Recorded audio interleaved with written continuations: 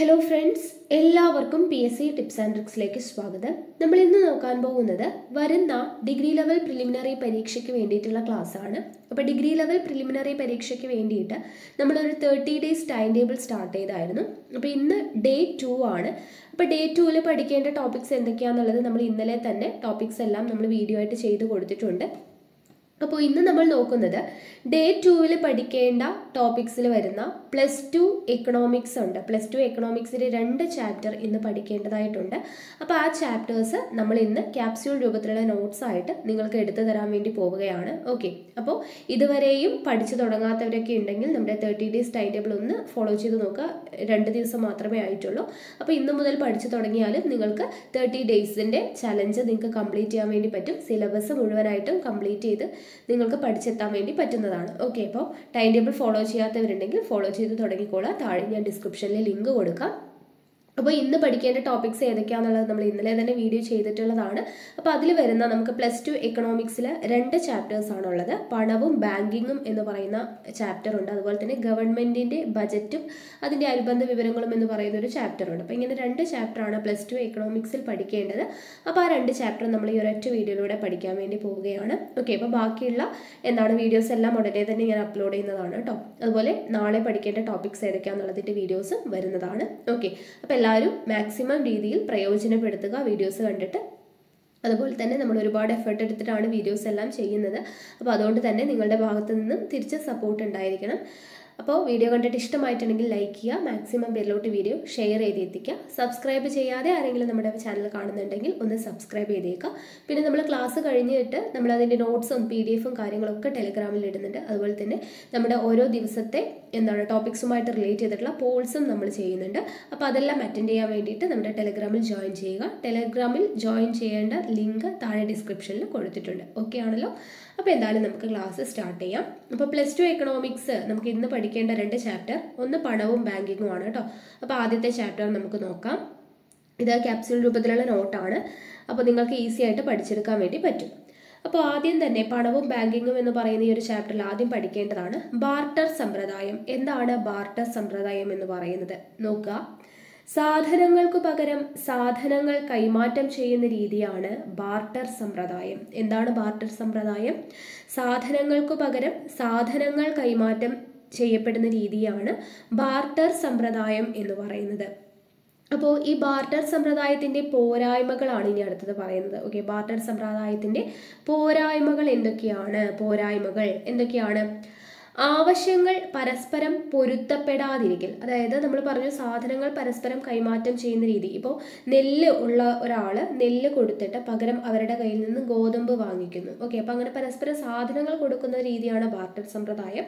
അപ്പോൾ അതിന്റെ പോരായ്മ എന്ന് പറയുന്നത് ഒന്നാമത്തെ പോരായ്മയാണ് ആവശ്യങ്ങൾ പരസ്പരം പൊരുത്തപ്പെടാതിരിക്കൽ. അതായത് നോക്കുക സാധന കൈമാറ്റ രീതിയിൽ വാങ്ങുന്ന ആളിന്റെയും വിൽക്കുന്ന ആളിന്റെയും ആവശ്യങ്ങൾ പൊരുത്തപ്പെടുമെങ്കിൽ മാത്രമേ ക്രയവിക്രയം സാധ്യമാകൂ.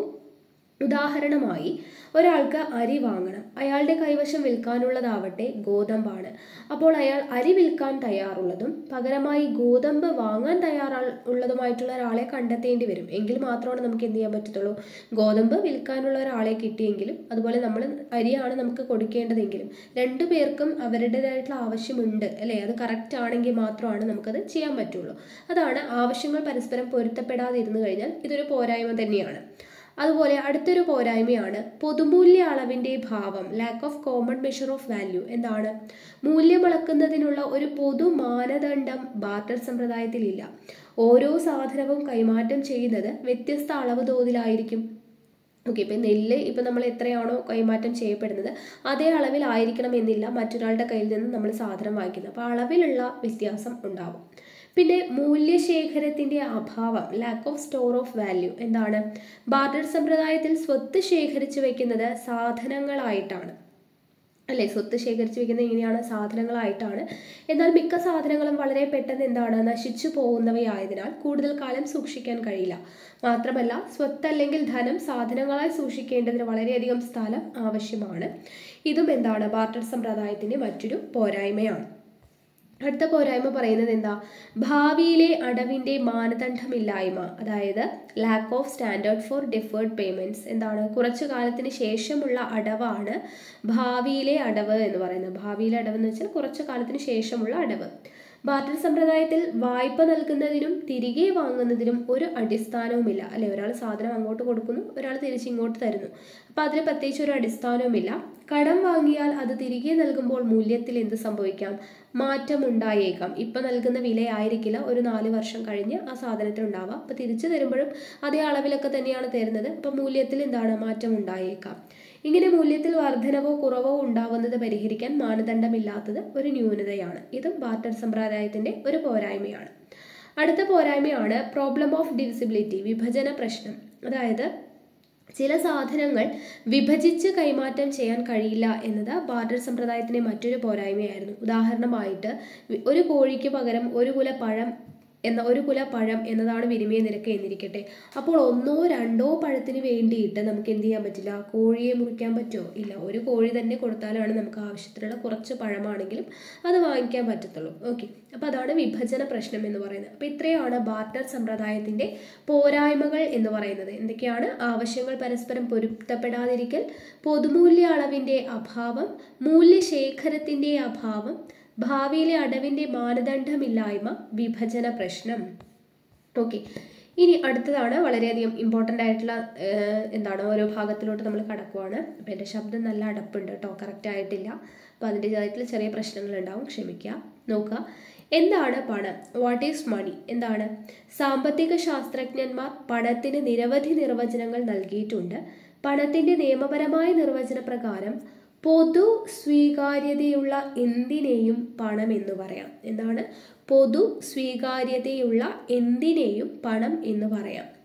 പണം ചെയ്യുന്നത് എന്താണോ അതാണ് പണം. Money is money does okay money is what money does എന്നാണ് പ്രൊഫസർ എഫ് എ വാക്കർ പണത്തെ നിർവചിച്ചത്. അപ്പോൾ പ്രൊഫസർ എഫ് എ വാക്കറുടെ നിർവചനമാണ്. പണത്തെക്കുറിച്ച് അദ്ദേഹം പറഞ്ഞത് എന്താണ്? പണം ചെയ്യുന്നത് എന്താണോ അതാണ് പണം money is what money does okay ഇനി അടുത്ത ഇമ്പോർട്ടന്റ് ആയിട്ടുള്ളതാണ്. പണത്തിന്റെ ധർമ്മങ്ങളെ നമുക്ക് നാലായിട്ട് തിരിക്കാം. പണത്തിന്റെ ധർമ്മങ്ങളെ നാലായിട്ട് തിരിക്കാം. മാധ്യമം മാപിനി മാനദണ്ഡം സഞ്ചയം എന്തൊക്കെയാണ്? മാധ്യമം മാപിനി മാനദണ്ഡം സഞ്ചയം അപ്പോൾ ഇതിലെ ഓരോ ധർമ്മങ്ങൾ നമുക്ക് നോക്കാം. ആദ്യത്തേത് വിനിമയ മാധ്യമം. പണത്തിന്റെ ധർമ്മമാണ് വിനിമയ മാധ്യമം. എന്താണ്? മീഡിയം ഓഫ് എക്സ്ചേഞ്ച് അതായത് നമ്മുടെ കൈവശമുള്ള സാധനങ്ങൾ വിറ്റ് പണമാക്കുകയും ആ പണം ഉപയോഗിച്ച് നമുക്ക് ആവശ്യമുള്ള മറ്റു സാധനങ്ങൾ വാങ്ങുകയും ചെയ്യാം അല്ലേ? അപ്പോൾ വിനിമയത്തിനുള്ള ഏറ്റവും നല്ല മാധ്യമമായിട്ട് പണം ഉപയോഗിക്കുന്നുണ്ട്. അതാണ് വിനിമയ മാധ്യമം അല്ലേ? പണം കൊടുത്ത് സാധനങ്ങൾ വാങ്ങുന്നു. അതുപോലെ ആ പണത്തിന് വേണ്ടി സാധനങ്ങൾ വിൽക്കുന്നു. അപ്പോൾ ഒരു മാധ്യമമായിട്ട് പണം ഉപയോഗിക്കുന്നുണ്ട്. അടുത്ത ധർമ്മം എന്താണ്? മൂല്യത്തിന്റെ അളവ് മെഷർ ഓഫ് വാല്യൂ അതായത് സാധനങ്ങളുടെയും സേവനങ്ങളുടെയും മൂല്യം അളക്കുന്നതിനുള്ള പൊതു മാനദണ്ഡമാണിത് പണം എന്ന് പറയുന്നത് അല്ലെ? സാധനങ്ങളുടെയും സേവനങ്ങളുടെയും മൂല്യം അളക്കുന്നതിനുള്ള പൊതു മാനദണ്ഡമാണ് പണം. സാധന സേവനങ്ങളുടെ മൂല്യം പണത്തിന്റെ അടിസ്ഥാനത്തിൽ അവതരിപ്പിക്കുന്നതിനെയാണ് എന്തെന്ന് പറയാം? വില എന്ന് പറയുന്നത്. വില എന്താണ്? സാധന സേവനങ്ങളുടെ മൂല്യം പണത്തിന്റെ അടിസ്ഥാനത്തിൽ അവതരിപ്പിക്കുന്നതാണ് വില. അടുത്ത ധർമ്മമാണ് മൂല്യശേഖരം എ സ്റ്റോർ ഓഫ് വാല്യൂ. എന്താണ്? പണത്തിന്റെ ആവിർഭാവത്തിന് മുൻപ് സമ്പത്ത് സൂക്ഷിച്ചിരുന്നത് സാധനങ്ങളായിട്ടായിരുന്നു നമ്മൾ പറഞ്ഞല്ലോ ബാർട്ടർ സമ്പ്രദായം. ഇത് വളരെയധികം പ്രയാസമുള്ളതായിരുന്നു. ചില വസ്തുക്കൾ വളരെ കാലം സൂക്ഷിക്കാൻ കഴിയാത്തവയായിരിക്കും. മറ്റു ചിലതാവട്ടെ പെട്ടെന്ന് മൂല്യം നശിച്ചു പോകുന്നവയായിരിക്കും.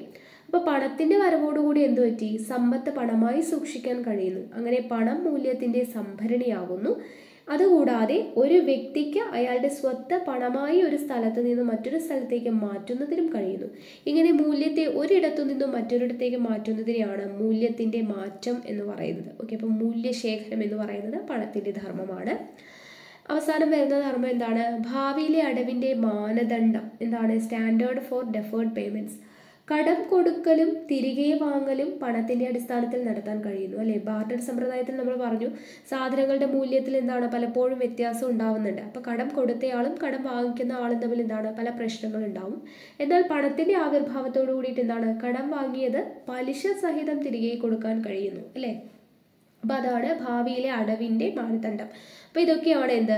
പണത്തിന്റെ ധർമ്മങ്ങൾ എന്ന് പറയുന്നത്. എന്തൊക്കെയാണ്? പണത്തിന്റെ ധർമ്മം? വിനിമയ മാധ്യമം മൂല്യത്തിന്റെ അളവ് മൂല്യശേഖരം ഭാവിയിലെ അടവിന്റെ മാനദണ്ഡം. ഇത്രയും കിട്ടിയോ?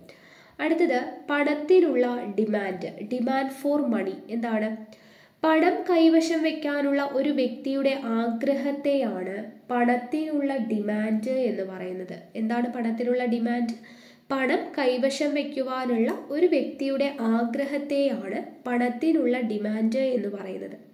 എന്തുകൊണ്ടാണ് ജനങ്ങൾ പണം ഡിമാൻഡ് ചെയ്യുന്നത്? പണം എന്താ? ഒരു ആസ്തിയാണ് അല്ലേ? ഇതെല്ലാവർക്കും സ്വീകാര്യമായതുമാണ്. ഇത് വളരെ എളുപ്പത്തിൽ എന്ത് ചെയ്യാം? മറ്റ് സാധനങ്ങളും സേവനങ്ങളുമാക്കി മാറ്റാൻ കഴിയും. പണമാണ് ഏറ്റവും ദ്രവത്വമുള്ള ആസ്തി ലിക്വിഡ് അസറ്റ് എന്ന് പറയുന്നത്. എന്താണ് ദ്രവത്വം എന്നത് പറയുന്നത്? അതായത് ഒരു ആസ്തിയെ എത്ര എളുപ്പത്തിൽ അല്ലെങ്കിൽ എത്ര പെട്ടെന്ന് പണമാക്കി മാറ്റുവാൻ കഴിയും എന്നതാണ് ദ്രവത്വം എന്ന് പറയുന്നത്. അപ്പോൾ ഏറ്റവും ദ്രവത്വമുള്ള ആസ്തിയാണ് പണം എന്ന് പറയുന്നത്. പണം കൈവശം വയ്ക്കുന്നതിനുള്ള ജനങ്ങളുടെ ആഗ്രഹത്തെയാണ് ദ്രവത്വാഭിലാഷം ലിക്വിഡിറ്റി പ്രിഫറൻസ് എന്ന് പറയുന്നത്. എന്താണ്? ദ്രവത്വാഭിലാഷം എന്ന് പറഞ്ഞാൽ പണം കൈവശം വെക്കുന്നതിനുള്ള ജനങ്ങളുടെ ആഗ്രഹത്തെയാണ് ദ്രവത്വാഭിലാഷം എന്ന് പറയുന്നത്. ടേംസ് ഒക്കെ പഠിച്ചു വെക്കുക കേട്ടോ. അപ്പോൾ ഇത്തരത്തിൽ പണം കൈവശം വെക്കാനായിട്ട് അല്ലെങ്കിൽ ദ്രവത്വാഭിലാഷത്തിന് വേണ്ടി പ്രേരിപ്പിക്കുന്നത് എന്തൊക്കെയാണ്? രണ്ട് തരത്തിലുള്ള പ്രേരണകളാണ് ജനം പണം കൈവശം വെക്കുന്നതിനുള്ളത് രണ്ട് തരത്തിലുള്ള പ്രേരണ. എന്തൊക്കെയാണ്? ഒന്ന് കൈമാറ്റ പ്രേരകം. ട്രാൻസാക്ഷൻ മോട്ടീവ് ഉണ്ട്. രണ്ട് ഊഹക്കച്ചവട പ്രേരകം അല്ലെങ്കിൽ സ്പെക്യുലേറ്റീവ് മോട്ടീവ് ഉണ്ട്. ഓക്കെ അപ്പോൾ രണ്ട് തരത്തിലുള്ള പ്രേരണകൾ കൊണ്ടാണ് ജനങ്ങൾ പണം കൈവശം വയ്ക്കുന്നത്. ഒന്ന് ട്രാൻസാക്ഷൻ മോട്ടീവ് കൈമാറ്റ പ്രേരകം എന്ന് പറയും. അല്ലെങ്കിൽ സ്പെക്യുലേറ്റീവ് മോട്ടീവ് അല്ലെങ്കിൽ ഊഹക്കച്ചവട പ്രേരകം. അപ്പോൾ എന്താണ് ഈ ട്രാൻസാക്ഷൻ മോട്ടീവ് അല്ലെങ്കിൽ കൈമാറ്റ പ്രേരകം എന്ന് പറയുന്നത്? ദൈനംദിന ഇടപാടുകൾ നടത്തുന്നതിന് വേണ്ടി ജനങ്ങൾ പണം കൈവശം സൂക്ഷിക്കുന്നതിനെയാണ് കൈമാറ്റ പ്രേരകം എന്ന് പറയുന്നത്. ഓക്കെ ജന ദൈനംദിന ഓക്കെ ഡെയിലി ഇടപാടുകൾക്ക് നടത്തുന്നതിന് വേണ്ടിയിട്ട് ജനങ്ങൾ പണം കൈവശം സൂക്ഷിക്കുന്നതിനെയാണ് കൈമാറ്റ പ്രേരകം. ഇനി ഊഹക്കച്ചവട പ്രേരകം അല്ലെങ്കിൽ സ്പെക്യുലേറ്റീവ് മോട്ടീവ് എന്ന് പറഞ്ഞാൽ എന്താണ്? ഭൂമി സ്വർണം കടപ്പത്രങ്ങൾ ഷെയറുകൾ ബോണ്ടുകൾ തുടങ്ങിയ ആസ്തികളുടെ വില ഭാവിയിൽ വർദ്ധിക്കുമെന്ന് കരുതി. അവ വാങ്ങുകയും വില ഉയർന്നിരിക്കുമ്പോൾ ഭാവിയിൽ ഭാവിയിൽ അവയുടെ വില കുറയുമെന്ന പ്രതീക്ഷയിൽ വിൽക്കുകയും ചെയ്യുന്നതിനെയാണ് ഊഹക്കച്ചവടം. അല്ലെ ഊഹിക്കുവാണ് നമ്മൾ. ഇപ്പം നമ്മൾ ഡെയിലി ഒരു സാധനം വാങ്ങിക്കുന്നു അല്ലെങ്കിൽ നമ്മൾ അതിനു വേണ്ടി പണം സൂക്ഷിച്ച് വെക്കുന്നു അതാണ് കൈമാറ്റ പ്രേരകം. ഊഹക്കച്ചവടം എന്ന് പറയുമ്പോൾ അതല്ല നമ്മളിപ്പോൾ ഒരു ഭൂമി വാങ്ങിച്ചു. കുറച്ച് ഒരു അഞ്ച് വർഷം കഴിയുമ്പോൾ അതിന് നല്ല വില കിട്ടും എന്നൊരു ഊഹത്തോട് കൂടിയിട്ടാണ് നമ്മൾ വാങ്ങിക്കുന്നത്. അത് കഴിഞ്ഞ് നല്ല വില കിട്ടുമ്പോൾ അത് വിൽക്കുന്നു. അല്ലെങ്കിൽ നമ്മൾ സ്വർണം വില കുറയുന്ന സമയത്ത് വാങ്ങിച്ചു വയ്ക്കുന്നു എന്താണ്? കുറച്ച് വർഷം കഴിയുമ്പോൾ നല്ല വില കിട്ടുമ്പോൾ വിൽക്കാം എന്നുള്ളൊരു ഊഹമാണ് അല്ലേ? അപ്പോൾ അതാണ് ഊഹക്കച്ചവടം എന്ന് പറയുന്നത്. ഓക്കെ. അപ്പോൾ ഇങ്ങനെയുള്ള ഊഹക്കച്ചവടം ചെയ്യുന്നതിനായിട്ട് പണം കൈവശം വയ്ക്കുന്നതിനുള്ള ജനങ്ങളുടെ ആഗ്രഹത്തെയാണ് പണത്തിന്റെ ഊഹക്കച്ചവട ഡിമാൻഡ് എന്ന് പറയുന്നത്. അപ്പം ടേംസ് ഒക്കെ ഒന്ന് മനസ്സിലാക്കി വെക്കാം. അടുത്തതാണ് ലിക്വിഡിറ്റി ട്രാപ്പ് എന്താണ് ലിക്വിഡിറ്റി ട്രാപ്പ് എന്ന് പറഞ്ഞാൽ പലിശ നിരക്കും ബോണ്ടിന്റെ വിലയും തമ്മിൽ വിപരീത ബന്ധമാണുള്ളത്. പലിശ നിരക്കും ബോണ്ടിന്റെ വിലയും തമ്മിൽ വിപരീത ബന്ധമാണുള്ളത്. അതായത് പലിശ നിരക്ക് ഉയർന്നിരുന്നാൽ ബോണ്ടിന്റെ വില കുറവായിരിക്കും. നേരെ മറിച്ച് പലിശ നിരക്ക് കുറഞ്ഞിരുന്നാൽ ബോണ്ടിന്റെ വില കൂടുതലുമായിരിക്കും. നിലവിൽ പലിശ നിരക്ക് കൂടിയിരുന്നാൽ അതായത് ബോണ്ടിന്റെ വില കുറഞ്ഞിരുന്നാൽ ഭാവിയിൽ പലിശ നിരക്ക് കുറയുമെന്ന് ഊഹിച്ച് ഇപ്പോൾ കൂടുതലായിട്ട് ബോണ്ട് വാങ്ങും. അതുമൂലം ഊഹക്കച്ചവടത്തിനായിട്ടുള്ള പണ ഡിമാൻഡ് കുറയുന്നു. അതുപോലെ ഇപ്പോൾ പലിശ നിരക്ക് കുറഞ്ഞിരുന്നാൽ ഭാവിയിൽ പലിശ നിരക്ക് കൂടുമെന്ന് ഊഹിച്ച് ഇപ്പോൾ ബോണ്ടിന് പകരം പണം കൈവശം വയ്ക്കാൻ താല്പര്യം കാണിക്കും. അതുകൊണ്ട് ഊഹക്കച്ചവടത്തിനുള്ള പണ ഡിമാൻഡ് കൂടുതലായിരിക്കും. ചുരുക്കത്തിൽ പലിശ നിരക്കും ഊഹക്കച്ചവടത്തിനുള്ള പണത്തിന്റെ ഡിമാൻഡും തമ്മിൽ വിപരീത ബന്ധമാണ്. കമ്പോള പലിശ നിരക്ക് പരമാവധി ആയിരിക്കുമ്പോൾ ഊഹക്കച്ചവടത്തിനുള്ള പഠനത്തിന്റെ ഡിമാൻഡ് പൂജ്യമായിരിക്കും കമ്പോള പലിശ നിരക്ക് മിനിമം ആയിരിക്കുമ്പോൾ ഊഹക്കച്ചവടത്തിനുള്ള പണത്തിന്റെ ഡിമാൻഡ് അനന്തമായിരിക്കും. ഇങ്ങനെ പലിശ നിരക്ക് മിനിമം ആയിരിക്കുമ്പോൾ ഇവിടെയാണ് നമ്മുടെ പോയിന്റ് പലിശ നിരക്ക് മിനിമം ആയിരിക്കുമ്പോൾ ഊഹക്കച്ചവടത്തിനായി പണം അനന്തമായി കൈവശം വെക്കുന്നതിനുള്ള ആഗ്രഹത്തെയാണ് ലിക്വിഡിറ്റി ട്രാപ്പ് എന്ന് പറയുന്നത്. അപ്പോൾ അത് മനസ്സിലാക്കി വെക്കുക കേട്ടോ എന്താണ് ലിക്വിഡിറ്റി ട്രാപ്പ് എന്ന് ചോദിച്ചു കഴിഞ്ഞാൽ ഇത്രയേ ഉള്ളൂ. പലിശ നിരക്ക് മിനിമം ആയിരിക്കുമ്പോൾ ഊഹക്കച്ചവടത്തിനായി പണം അനന്തമായി കൈവശം വെക്കുന്നതിനുള്ള ആഗ്രഹത്തെയാണ് ലിക്വിഡിറ്റി ട്രാപ്പ് എന്ന് പറയുന്നത്. അപ്പം നമ്മൾ പറഞ്ഞു എന്താണ്? പലിശ നിരക്ക് ബോണ്ടിന്റെ വിലയും തമ്മിൽ വിപരീത ബന്ധമാണെന്ന്. അപ്പം ഇപ്പം പലിശ നിരക്ക് ഉയർന്നിരുന്നു എന്ന് വെച്ചാൽ ബോണ്ടിന്റെ വില കുറവായിരിക്കും. പലിശ നിരക്ക് കുറഞ്ഞു എന്ന് വെച്ചാൽ ബോണ്ടിന്റെ വില എന്തായിരിക്കും? കൂടുതലായിരിക്കും.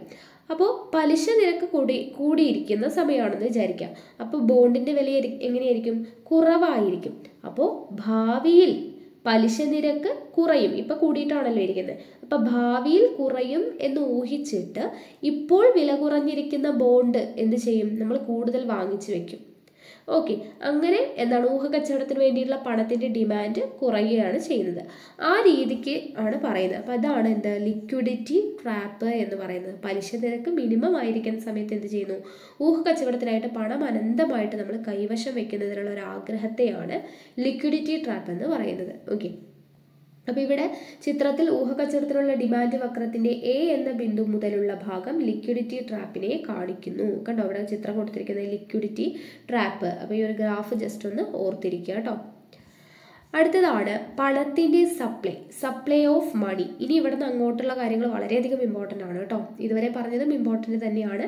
ഈ ഭാഗത്ത് നിന്ന് നമുക്ക് ചോദ്യങ്ങൾ വന്നിട്ടുണ്ട് ഒരുപാട്. ഓക്കെ അപ്പോൾ നോക്കുക പണത്തിന്റെ സപ്ലൈ സപ്ലൈ ഓഫ് മണി ഒരു നിശ്ചിത സമയത്ത് പൊതുജനങ്ങൾ വ്യാപാരികൾ സ്ഥാപനങ്ങൾ മുതലായവ ഇടപാടുകൾ നടത്തുന്നതിനായി കൈവശം വയ്ക്കുന്ന പണത്തിന്റെ മൊത്തം അളവാണ് പണത്തിന്റെ സപ്ലൈ ഒരു നിശ്ചിത സമയത്ത് ഒരു പെർട്ടിക്കുലർ സമയത്ത് പൊതുജനങ്ങൾ വ്യാപാരികൾ സ്ഥാപനങ്ങൾ മുതലായവ ഇടപാടുകൾ നടത്തുന്നതിന് വേണ്ടിയിട്ട് എന്ത് ചെയ്യുന്നു?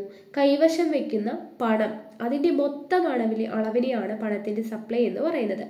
എന്നാൽ ഗവൺമെന്റ് ട്രഷറികളിലും കേന്ദ്ര ബാങ്കിലും സൂക്ഷിച്ചിരിക്കുന്ന പണം കേന്ദ്ര ബാങ്കിന്റെ കൈവശമുള്ള വാണിജ്യ ബാങ്കുകളുടെ കരുതൽ ധനം എന്നിവ പണ സപ്ലൈയിൽ ഉൾപ്പെടുത്താറില്ല. അപ്പോൾ പൊതുജനങ്ങളും വ്യാപാരികളും സ്ഥാപനങ്ങളും ഒക്കെ ഇടപാടുകൾ നടത്താൻ വേണ്ടിയിട്ട് കൈവശം വെക്കുന്ന പണമാണ് പണത്തിന്റെ സപ്ലൈ എന്ന് പറയുന്നത്. എന്നാൽ ഗവൺമെന്റ് ട്രഷറികളിൽ കേന്ദ്ര ബാങ്കിൽ കേന്ദ്ര ബാങ്കിന്റെ കൈവശമുള്ള വാണിജ്യ ബാങ്കുകളുടെ കരുതൽ ധനം. ഇതൊന്നും എന്തിൽ വരില്ല? പണ സപ്ലൈയിൽ വരില്ല. അപ്പോൾ ചിലപ്പോൾ താഴെ തന്നിട്ടുള്ളവയിൽ പണ സപ്ലൈയിൽ വരുന്നത് ഏതൊക്കെയെന്ന് ചോദിക്കാം. ഓക്കെ അപ്പോൾ നോട്ട് ചെയ്ത് വെച്ചേക്കുക. പൊതുജനങ്ങൾ വ്യാപാരികൾ സ്ഥാപനങ്ങൾ മുതലായവർ ഇടപാടുകൾ നടത്തുന്നതിന് വേണ്ടി കൈവശം വയ്ക്കുന്ന പണം മാത്രമാണ് ഇതിൽ വരുന്നത്? പണത്തിന്റെ സപ്ലൈയിൽ വരുന്നത്. അല്ലാതെ കേന്ദ്ര ബാങ്കിന്റെ കൈവശമുള്ളതോ വാണിജ്യ ബാങ്കുകളുടെ കരുതൽ ധനമോ ഗവൺമെന്റ് ട്രഷറികളിലുള്ള ധനമോ അതൊന്നും എന്തിൽ വരുന്നില്ല. പണത്തിന്റെ സപ്ലൈയിൽ വരുന്നില്ല. സമ്പദ് വ്യവസ്ഥയിലെ മൊത്തം ക്രയശേഷിയാണ് പണസപ്ലൈ സൂചിപ്പിക്കുന്നത്. എന്താണ്? സമ്പദ് വ്യവസ്ഥയിലെ മൊത്തം ക്രയശേഷിയാണ് പണസപ്ലൈ സൂചിപ്പിക്കുന്നത്. ഇനി പണസപ്ലൈയുടെ അളവുകൾ പണസപ്ലൈയുടെ അളവുകൾ ഇന്ത്യയിലാണ് കേട്ടോ പറയുന്നത്. Measures of money supply in India ആണ് പറയുന്നത്. ആയിരത്തി തൊള്ളായിരത്തി എഴുപത്തി ഏഴ് മുതൽ Reserve Bank of India R B I important ആണ്. നമുക്ക് കഴിഞ്ഞ ഡിഗ്രി പ്രിലിംസിനും ഇപ്പോൾ കഴിഞ്ഞ പ്ലസ് ടു പ്രിലിംസിനും എല്ലാം ചോദ്യങ്ങൾ വന്നിട്ടുള്ള ഒരു ഏരിയ ആണ്. അപ്പോൾ ഈ ഭാഗം നന്നായിട്ട് തന്നെ പഠിക്കുക കേട്ടോ ആർ ബി ഐനെ കുറിച്ചിട്ടുള്ള എല്ലാ പോയിന്റ്സും ആയിരത്തി തൊള്ളായിരത്തി എഴുപത്തി ഏഴ് മുതൽ റിസർവ് ബാങ്ക് ഓഫ് ഇന്ത്യ ഇന്ത്യയിൽ പണ സപ്ലൈയുടെ നാല് അളവുകൾ പ്രസിദ്ധീകരിക്കുന്നുണ്ട്. അപ്പോൾ ആർ ബി ഐ പ്രസിദ്ധീകരിക്കുന്ന ഇന്ത്യയിൽ പ്രസിദ്ധീകരിക്കുന്ന നാല് പണ സപ്ലൈയുടെ അളവുകളാണ്. M one M two M three M four M one M two M three M four അപ്പോൾ ഇതിൽ ഓരോന്നും എന്താണെന്നുള്ളത് ഇമ്പോർട്ടന്റ് ആണ് പഠിച്ചിരിക്കുക എം വൺ എന്ന് പറഞ്ഞു കഴിഞ്ഞാൽ C U plus D D എന്താണ് currency plus demand ഡെപ്പോസിറ്റുകളാണ് M one okay M one എന്ന് പറഞ്ഞാൽ എന്താണ്? കറൻസി പ്ലസ് ഡിമാൻഡ് ഡെപ്പോസിറ്റുകളാണ് അതായത് കറൻസി എന്നതുകൊണ്ട് ഉദ്ദേശിക്കുന്നത് എന്താണ്? പൊതുജനങ്ങളുടെ കൈവശമുള്ള നോട്ടുകളും നാണയങ്ങളും. കറൻസി എന്നതുകൊണ്ട് ഉദ്ദേശിക്കുന്നത് എന്താണ്? പൊതുജനങ്ങളുടെ കൈവശമുള്ള നോട്ടുകളും നാണയങ്ങളും പ്ലസ് ഡി ഡി എന്താണ്? ഡി ഡി ബാങ്കുകളിലുള്ള പൊതുജനങ്ങളുടെ ഡിമാൻഡ് ഡെപ്പോസിറ്റുകളുമാണ്. അത് രണ്ടും കൂടെ ചേരുന്നതാണ് എം വൺ പഠിച്ചോ? എം വൺ എന്താണ്? C U plus D D ആണ്. സി യു എന്താണ്? കറൻസി ആണ്. കറൻസി എന്ന് പറഞ്ഞു കഴിഞ്ഞാൽ പൊതുജനങ്ങളുടെ കൈവശമുള്ള നോട്ടുകളും നാണയങ്ങളും പ്ലസ് എന്തുകൂടെ? അതേ പൊതുജനങ്ങളുടെ ബാങ്ക് ഡെപ്പോസിറ്റ് ഡിമാൻഡ് ഡെപ്പോസിറ്റുകളുമാണ് എന്ത്? ഈ എം വൺ എന്ന് പറയുന്നത് C U plus D D ഇനി എം ടു എം ടു എന്താണ്? M one plus M one plus അപ്പോൾ എം വൺ എന്താന്ന് അറിഞ്ഞാലാണ് അത് പറ്റുള്ളൂ അല്ലേ? അപ്പോൾ എം ടു എന്ന് പറയുന്നത് എന്താണ്? എം വൺ എം വൺ എന്താ? C U plus D D currency plus demand ഡെപ്പോസിറ്റുകളാണ് പൊതുജനങ്ങളുടെ കൈവശമുള്ള നോട്ടുകളും നാണയങ്ങളും പ്ലസ് പൊതുജനങ്ങളുടെ ഡിമാൻഡ് ഡെപ്പോസിറ്റുകളും ചേർന്നതാണ് എം വൺ ആ എം വണ്ണിനോടൊപ്പം എന്ത് കൂടെ ചേരുന്നു? പോസ്റ്റ് ഓഫീസ് സേവിങ്സ് ബാങ്കുകളിലെ സേവിങ്സ് ഡെപ്പോസിറ്റുകളും കൂടെ ചേരുന്നതാണ് എം ടു ഓക്കെ അപ്പോൾ എം വൺ എന്ന് പറഞ്ഞാൽ കറൻസി പ്ലസ് ഡിമാൻഡ് ഡെപ്പോസിറ്റുകളാണ് എം ടു എന്ന് പറയുന്നത് ഈ എം വണ്ണിനോടൊപ്പം അതായത് കറൻസി പ്ലസ് ഡിമാൻഡ് ഡെപ്പോസിറ്റുകളോടൊപ്പം എന്തുകൂടെ ചേരുന്നു? പോസ്റ്റ് ഓഫീസ് സേവിങ്സ് ബാങ്കുകളിലെ സേവിങ്സ് ഡെപ്പോസിറ്റുകളും കൂടെ ചേരുന്നതാണ് എം ടു ഇനി എം ത്രീ എന്ന് പറഞ്ഞു കഴിഞ്ഞാൽ എം വണ്ണിനോടൊപ്പം അപ്പോൾ എം വൺ അറിയണം. കറൻസി പ്ലസ് ഡിമാൻഡ് ഡെപ്പോസിറ്റ് ആണ് എം വൺ അതിനോടൊപ്പം ബാങ്കുകളിലെ അറ്റ കാലാവധി നിക്ഷേപങ്ങൾ നെറ്റ് ടൈം ഡെപ്പോസിറ്റ് ഓക്കെ ബാങ്കുകളിലെ അറ്റ കാലാവധി നിക്ഷേപങ്ങളും കൂടെ ചേരുന്നതാണ് എം ത്രീ അതായത് എം ത്രീയിൽ എന്തൊക്കെ വരും? Currency plus demand deposit plus ബാങ്കുകളിലെ അറ്റ കാലാവധി നിക്ഷേപങ്ങൾ. ഇത്രയും ചേരുന്നതാണ് എം ത്രീ കിട്ടിയോ? അടുത്തത് എം ഫോർ എം ഫോർ എന്ന് പറഞ്ഞു കഴിഞ്ഞാൽ എം ത്രീ പ്ലസ് ഇപ്പം എം ത്രീ എന്താണ്? എം ത്രീ എന്ന് പറഞ്ഞു കഴിഞ്ഞാൽ എം വണ്ണിനോടൊപ്പം അതായത് കറൻസി പ്ലസ് ഡിമാൻഡ് ഡെപ്പോസിറ്റിനോടൊപ്പം ബാങ്കുകളിലെ അറ്റ കാലാവധി നിക്ഷേപങ്ങളും കൂടെ ചേരുന്നതാണ് എം ത്രീ അതിന്റെ കൂടെ എന്തും കൂടെ വരുന്നുണ്ട് എം ഫോറിൽ പോസ്റ്റ് ഓഫീസ് സേവിങ്സ് ഓർഗനൈസേഷനിലെ ആകെ ഡെപ്പോസിറ്റുകൾ അതായത് ദേശീയ സമ്പാദ്യ പദ്ധതി സർട്ടിഫിക്കറ്റുകൾ ഒഴികെ പോസ്റ്റ് ഓഫീസ് സേവിങ്സ് ഓർഗനൈസേഷനിലെ ആകെ ഡെപ്പോസിറ്റുകളും കൂടെ എം ത്രീയുടെ കൂടെ ചേരുമ്പോഴാണ് എം ഫോർ കിട്ടുന്നത്. ഓക്കെ അപ്പോൾ എം വൺ എന്താ? എം ടു എന്താ? എം ത്രീ എന്താ? എം ഫോർ എന്താ? ഇമ്പോർട്ടന്റ് ആണ് പഠിച്ചിരിക്കണം. ഇവയിൽ എം വൺ എം ടു എന്നിവയെ സങ്കുചിത പണം എന്നും നാരോ മണി ഇപ്പം ചിലപ്പോ താഴെ തന്നിട്ടുള്ളവയിൽ സങ്കുചിത പണത്തിൽ വരുന്നത് ഏതാണ്? ഓക്കെ അല്ലെങ്കിൽ വിശാല പണത്തിൽ വരുന്നത് ഏതാന്നൊക്കെ ചോദിക്കാം. അപ്പോൾ ഇവയിൽ എം വൺ എം ടു ആണ് എന്ത്? സങ്കുചിത പണം അല്ലെങ്കിൽ narrow money M three M four എന്നിവ എന്താണ്? വിശാല പണം അഥവാ ബ്രോഡ് മണിയാണ് ഈ നാല് തരം പണ സപ്ലൈയുടെ അളവുകളിൽ ഏറ്റവും ദ്രവത്വമുള്ളത് ഏറ്റവും ദ്രവത്വമുള്ളത് ഏതാണ്? എം വൺ എം വണ്ണും ഏറ്റവും ദ്രവത്വം കുറഞ്ഞത് എം ത്രീയുമാണ് അത് പഠിച്ചിരിക്കുക കേട്ടോ ഏറ്റവും ദ്രവത്വമുള്ളത് എം വണ്ണും ഏറ്റവും ദ്രവത്വം കുറഞ്ഞത് എം ത്രീയുമാണ് റിസർവ് ബാങ്ക് ഓഫ് ഇന്ത്യ പണ സപ്ലൈയെ കുറിച്ച് പറയുമ്പോൾ പ്രധാനമായും എം ത്രീ ആണ് കണക്കാക്കുന്നത്. അപ്പോൾ ആർ ബി ഐ കുറിച്ച് പ്രധാനമായിട്ടും കണക്കാക്കുന്നത് ഏതാണ്? എം ത്രീ ആണെന്നുള്ളത് ഓർത്തിരിക്കുക.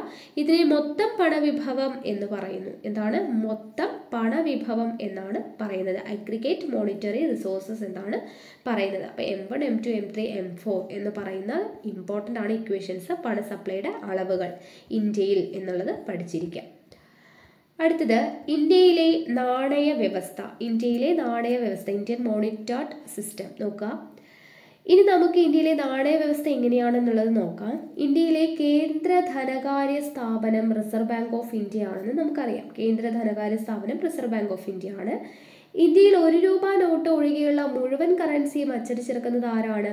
ആർ ബി ഐ ആണ്. ഇന്ത്യയിൽ ഒരു രൂപ നോട്ട് ഒഴികെയുള്ള മുഴുവൻ കറൻസിയും അച്ചടിച്ചിറക്കുന്നത് ആരാണ്? ആർ ബി ഐ ആണ്. ഒരു രൂപ നോട്ടും നാണയങ്ങളും അച്ചടിച്ചിറക്കുവാനുള്ള ഉത്തരവാദിത്തം കേന്ദ്ര ഗവൺമെന്റിന്റെ ധനകാര്യ വകുപ്പിനാണ്. ഒരു രൂപ നോട്ടും നാണയങ്ങളും അച്ചടിച്ചിറക്കുന്നത് കേന്ദ്ര ഗവൺമെന്റിന്റെ ധനകാര്യ വകുപ്പാണ്. ഒരു രൂപ നോട്ട് ഒഴികെയുള്ള മുഴുവൻ കറൻസിയും അച്ചടക്ക് അച്ചടിച്ചിറക്കുന്നത് ആർ ബി ഐ ആണ്. എന്നിരുന്നാലും നാണയങ്ങളുടെയും കറൻസി നോട്ടുകളുടെയും വിതരണത്തിന്റെ ഉത്തരവാദിത്തം ആർക്കാണ് ആർ ബി ഐക്കാണ് ഓക്കെ അച്ചടിച്ചിറക്കുന്നില്ലെങ്കിലും ഈ കറൻസി നോട്ടുകളുടെ വിതരണത്തിന്റെയും നാണയങ്ങളുടെയും എല്ലാം വിതരണത്തിന്റെ ഉത്തരവാദിത്തം ആർ ബി ഐക്കാണ് ഇന്ത്യയിൽ നോട്ടുകൾ അച്ചടിച്ചിറക്കുന്നതിന്റെ മാനദണ്ഡം എന്താണ് എന്ന് നിങ്ങൾ ആലോചിച്ചിട്ടുണ്ടോ? മിനിമം റിസർവ് സിസ്റ്റം എന്ന ഒരു സമ്പ്രദായത്തിന്റെ അടിസ്ഥാനത്തിലാണ് ഇന്ത്യയിൽ നോട്ടുകൾ അച്ചടിച്ചിറക്കുന്നത് ഇന്ത്യയിൽ നോട്ടുകൾ അച്ചടിച്ചിറക്കുന്നതിന്റെ മാനദണ്ഡം എന്താണ്? Minimum reserve system. എന്താണിത്? ഒരു നിശ്ചിത അളവ് സ്വർണമോ കടപ്പത്രങ്ങളോ കരുതലായി സൂക്ഷിച്ചുകൊണ്ട് അതിന്റെ അടിസ്ഥാനത്തിലാണ് കറൻസി നോട്ടുകൾ അച്ചടിക്കുന്നത്. അതാണ് മിനിമം റിസർവ് സിസ്റ്റം ഒരു നിശ്ചിത അളവ് സ്വർണമോ കടപ്പത്രങ്ങളോ കരുതലായി സൂക്ഷിച്ചുകൊണ്ട് അതിന്റെ അടിസ്ഥാനത്തിൽ കറൻസി നോട്ടുകൾ അച്ചടിച്ചിറക്കുന്നു അതാണ് മിനിമം റിസർവ് സിസ്റ്റം എന്ന് പറയുന്നത്. ഓക്കെ ഇനി അടുത്തത് പണസപ്ലൈയെ സ്വാധീനിക്കുന്ന ഘടകങ്ങൾ ഏതൊക്കെയാണ്? പണസപ്ലൈ എന്ന് നമ്മൾ പറഞ്ഞു. M one M two M three M four പഠിച്ചു. അതിനെ സ്വാധീനിക്കുന്ന ഘടകങ്ങളാണ് പറയുന്നത്. അപ്പോൾ പണസപ്ലൈയെ സ്വാധീനിക്കുന്ന ഒന്നാമത്തെ ഘടകമാണ് reserve deposit ratio. Reserve deposit ratio. R D R. ചിലപ്പോൾ ഇങ്ങനെ ക്വസ്റ്റ്യൻ പേപ്പറിൽ ആർ ഡി ആർ എന്നൊക്കെ കാണാം. അപ്പോൾ എന്താണിത്? റിസർവ് ഡെപ്പോസിറ്റ് റേഷ്യോ ആണ് ആർ ഡി ആർ. അപ്പോൾ അതെന്താണ്? വാണിജ്യ ബാങ്കുകൾ പൊതുജനങ്ങളിൽ നിന്ന് വിവിധ തരത്തിലുള്ള നിക്ഷേപങ്ങൾ സ്വീകരിക്കാറുണ്ട്. ഇങ്ങനെയുള്ള നിക്ഷേപങ്ങളുടെ ഒരു ഭാഗം ബാങ്കുകൾ എന്ത് ചെയ്യുന്നു? റിസർവ് ആയിട്ട് അല്ലെങ്കിൽ കരുതൽ ധനമായിട്ട് സൂക്ഷിക്കും. ഈ കരുതൽ ധനവും മൊത്തം ഡിപ്പോസിറ്റും തമ്മിലുള്ള അനുപാതമാണ് ആർ ഡി ആർ അപ്പോൾ ഇപ്പം തന്നെ പഠിച്ചേക്കുക എന്താണ് ആർ ഡി ആർ എന്ന് പറയുന്നത്? ബാങ്കുകൾ കരുതൽ ധനമായി സൂക്ഷിക്കുന്ന പണവും ബാങ്കുകളിലെ മൊത്തം ഡിപ്പോസിറ്റും തമ്മിലുള്ള അനുപാതമാണ് റിസർവ് ഡിപ്പോസിറ്റ് റേഷ്യോ അഥവാ R D R R D R is equal to കരുതൽ ധനം ഡിവൈഡഡ് ബൈ മൊത്തം deposit R by D D okay equation പഠിച്ചിരിക്കുക കേട്ടോ വാണിജ്യ ബാങ്കുകളുടെ കരുതൽ ധനത്തിന് രണ്ട് ഭാഗങ്ങളുണ്ട്. വോൾട്ട് ക്യാഷും ബാങ്കുകൾ ആർ ബി ഐയിൽ സൂക്ഷിക്കുന്ന കരുതൽ ധന അനുപാതവും. ഓക്കെ ഇനി രണ്ടാമത്തേത് ആദ്യത്തേതാണ് നമ്മൾ പറഞ്ഞത് റിസർവ് ഡിപ്പോസിറ്റ് റേഷ്യോ എന്താണ്? പണസപ്ലൈ സ്വാധീനിക്കുന്ന ഘടകങ്ങളാണ് പറഞ്ഞുകൊണ്ടിരിക്കുന്നത്. ഒന്ന് റിസർവ് ഡെപ്പോസിറ്റ് റേഷ്യോ രണ്ട് കറൻസി ഡെപ്പോസിറ്റ് അനുപാതം. എന്താണ്? കറൻസി ഡെപ്പോസിറ്റ് അനുപാതം C D R C D R ഇനി അങ്ങോട്ട് പോകുമ്പോൾ ഈ വേർഡ്സ് ഒക്കെ കാണും. അപ്പോൾ ഓർത്തിരിക്കണം കറൻസി ഡെപ്പോസിറ്റ് റേഷ്യോ ഒരു സമ്പദ് വ്യവസ്ഥയിൽ പൊതുജനങ്ങൾ തങ്ങളുടെ കൈവശം സൂക്ഷിക്കുന്ന കറൻസിയും അളവും ബാങ്കുകളിലുള്ള അവരുടെ ഡെപ്പോസിറ്റും തമ്മിലുള്ള അനുപാതമാണ് കറൻസി ഡെപ്പോസിറ്റ് അനുപാതം. എന്താണ്? ഒരു സമ്പദ് വ്യവസ്ഥയിൽ പൊതുജനങ്ങൾ അവരവരുടെ കൈവശം സൂക്ഷിക്കുന്ന കറൻസി പ്ലസ് ബാങ്കുകളിലുള്ള അവരുടെ ഡെപ്പോസിറ്റ് ഇത് തമ്മിലുള്ള അനുപാതത്തെയാണ് കറൻസി ഡെപ്പോസിറ്റ് അനുപാതം എന്ന് പറയുന്നത്. അപ്പോൾ C D R is equal to എന്താണ്? C U by D D C U എന്ന് പറഞ്ഞാൽ കൈവശം വയ്ക്കുന്ന കറൻസിയുടെ അളവ് ഡി ഡി എന്ന് പറഞ്ഞാൽ ബാങ്കുകളിലെ ഡെപ്പോസിറ്റ് അപ്പോൾ ഈ ഇക്വേഷനും ഇമ്പോർട്ടന്റ് ആണ്. അടുത്ത ഹെഡിങ് നോക്കുക. ഹൈ പവേർഡ് പണം ഹൈ പവേർഡ് മണി എന്താണ് ഹൈ പവേർഡ് മണി ഒരു രാജ്യത്തിന്റെ കേന്ദ്ര ധനകാര്യ സ്ഥാപനത്തിന്റെ മൊത്തം ബാധ്യതയാണ് ഹൈ പവേർഡ് മണി എന്ന് പറയുന്നത്. ഓക്കെ ഒരു രാജ്യത്തിന്റെ കേന്ദ്ര ധനകാര്യ സ്ഥാപനത്തിന്റെ മൊത്തം ബാധ്യതയാണ് ഹൈ പവേർഡ് മണി. ഇതിനെ പണപരമായ അടിത്തറ എന്നും പറയും. മോണിറ്ററി ബേസ് എന്നും പറയും. ഓക്കെ ഹൈ പവേർഡ് മണി അല്ലെങ്കിൽ മോണിറ്ററി ബേസ് പണപരമായ അടിത്തറ എന്നും പറയും. ഒരു രാജ്യത്തിന്റെ കേന്ദ്ര ധനകാര്യ സ്ഥാപനം അതായത് ഇന്ത്യയിലാണെങ്കിൽ നമ്മുടെ ആർ ബി ഐ ആ സമ്പദ് വ്യവസ്ഥയിലേക്ക് ഒഴുക്കിയ പണമാണ് എന്ത്? High money. അപ്പോൾ ഒരു രാജ്യത്തിന്റെ കേന്ദ്ര ധനകാര്യ സ്ഥാപനം ആ ഒരു സമ്പദ് വ്യവസ്ഥയിലേക്ക് ഒഴുക്കിയ പണമാണ് ഹൈ മണി. പൊതുജനങ്ങളുടെ കൈവശമുള്ള കറൻസികളും നാണയങ്ങളും വാണിജ്യ ബാങ്കുകളുടെ വോൾട്ട് ക്യാഷും പെടും. ഓക്കെ അപ്പോൾ ഹൈപ്പവേർഡ് മണിയിൽ എന്തൊക്കെ വരും? പൊതുജനങ്ങളുടെ കൈവശമുള്ള കറൻസികൾ നാണയങ്ങൾ വാണിജ്യ ബാങ്കുകളുടെ വോൾട്ട് ക്യാഷ് ഇതെല്ലാം വരും. കേന്ദ്ര ബാങ്കിലുള്ള ഗവൺമെന്റിന്റെയും വാണിജ്യ ബാങ്കുകളുടെയും കരുതൽ ധനവും ഇതിൽ വരും. അതായത് ഹൈപ്പവേർഡ് പണത്തെ നമുക്ക് എച്ച് എന്ന് വിളിച്ചു കഴിഞ്ഞാൽ H is equal to C U plus R ആണ്. H is equal to C U plus R എന്താണ് സി യു സി യു എന്ന് പറഞ്ഞാൽ കറൻസികളും നാണയങ്ങളും. ആർ എന്ന് പറഞ്ഞാൽ റിസർവ് പണമാണ്. എച്ച് എന്താണ്? ഹൈപ്പവേർഡ് പണം. അപ്പോൾ ഈ ഇക്വേഷനും ഇമ്പോർട്ടന്റ് ആണ്. അടുത്തത് പണഗുണകം. പണഗുണകം അഥവാ മണി മൾട്ടിപ്ലയർ. ഇംഗ്ലീഷിലും മലയാളത്തിലുള്ള വേർഡ്സ് പഠിക്കുക. എങ്ങനെയാണ് ചോദിക്കുന്നതെന്ന് നമുക്ക് പറയാൻ പറ്റത്തില്ല. ഓക്കെ അപ്പോൾ നോക്കുക. പണഗുണകം അഥവാ മണി മൾട്ടിപ്ലയർ. ഒരു സമ്പദ് വ്യവസ്ഥയിലെ പണത്തിന്റെ ശേഖരവും ഹൈപ്പവേർഡ് പണത്തിന്റെ ശേഖരവും തമ്മിലുള്ള അനുപാതത്തെയാണ് പണഗുണകം എന്ന് പറയുന്നത്. പണത്തിന്റെ ശേഖരം നമ്മൾ പറഞ്ഞു എം അല്ലേ? ഹൈപ്പവേർഡ് പണത്തിന്റെ ശേഖരം എച്ച് ആണ്. അങ്ങനെയാണെങ്കിൽ പണഗുണകം എന്ന് പറയുന്നത് ഇവ തമ്മിലുള്ള അനുപാതമാണ്. അതായത് എം ബൈ എച്ച് ആണ്. പണഗുണകം. Money multiplier is equal to എന്താണ്? എം ബൈ എച്ച് എം എന്ന് പറഞ്ഞാൽ പണത്തിന്റെ ശേഖരം. എച്ച് എന്ന് പറഞ്ഞാൽ ഹൈപ്പർ വേർഡ് പണത്തിന്റെ ശേഖരം. പണഗുണകത്തിന്റെ മൂല്യം ഒന്നിൽ കൂടുതലായിരിക്കും. അത് നോട്ട് ചെയ്ത് വെച്ചേക്കുക. പണഗുണകത്തിന്റെ മൂല്യം ഒന്നിൽ കൂടുതലായിരിക്കും. പണഗുണകത്തിന്റെ മൂല്യത്തെ സ്വാധീനിക്കുന്ന രണ്ട് ഘടകങ്ങളാണ് സി ഡി ആറും ആർ ഡി ആറും നമ്മൾ പഠിച്ചതാണ് അല്ലേ? സി ഡി ആറ് അതുപോലെ തന്നെ ആർ ഡി ആറ് എന്താണെന്നുള്ളത് അല്ലേ? ഇവ എത്രയാണെന്ന് അറിഞ്ഞിരുന്നാൽ പണഗുണകം കണ്ടെത്താം. അതായത് പണഗുണകത്തിന്റെ എക്സാം ഇക്വേഷൻ എന്ന് പറയുന്നത് എം ബൈ എച്ച് അതായത് one plus C D R divided by C D R plus R D R ആണ്. അപ്പം സി ഡി ആറിന്റെയും ആർ ഡി ആറിന്റെയും വാല്യൂ അറിഞ്ഞു കഴിഞ്ഞാൽ നമുക്ക് പണഗുണകം കാൽക്കുലേറ്റ് ചെയ്യാൻ വേണ്ടി പറ്റും. അപ്പോൾ ഇതും ഇക്വേഷൻ ഇമ്പോർട്ടന്റ് ആണ് കേട്ടോ. അടുത്തത് വാണിജ്യ ബാങ്കുകൾ.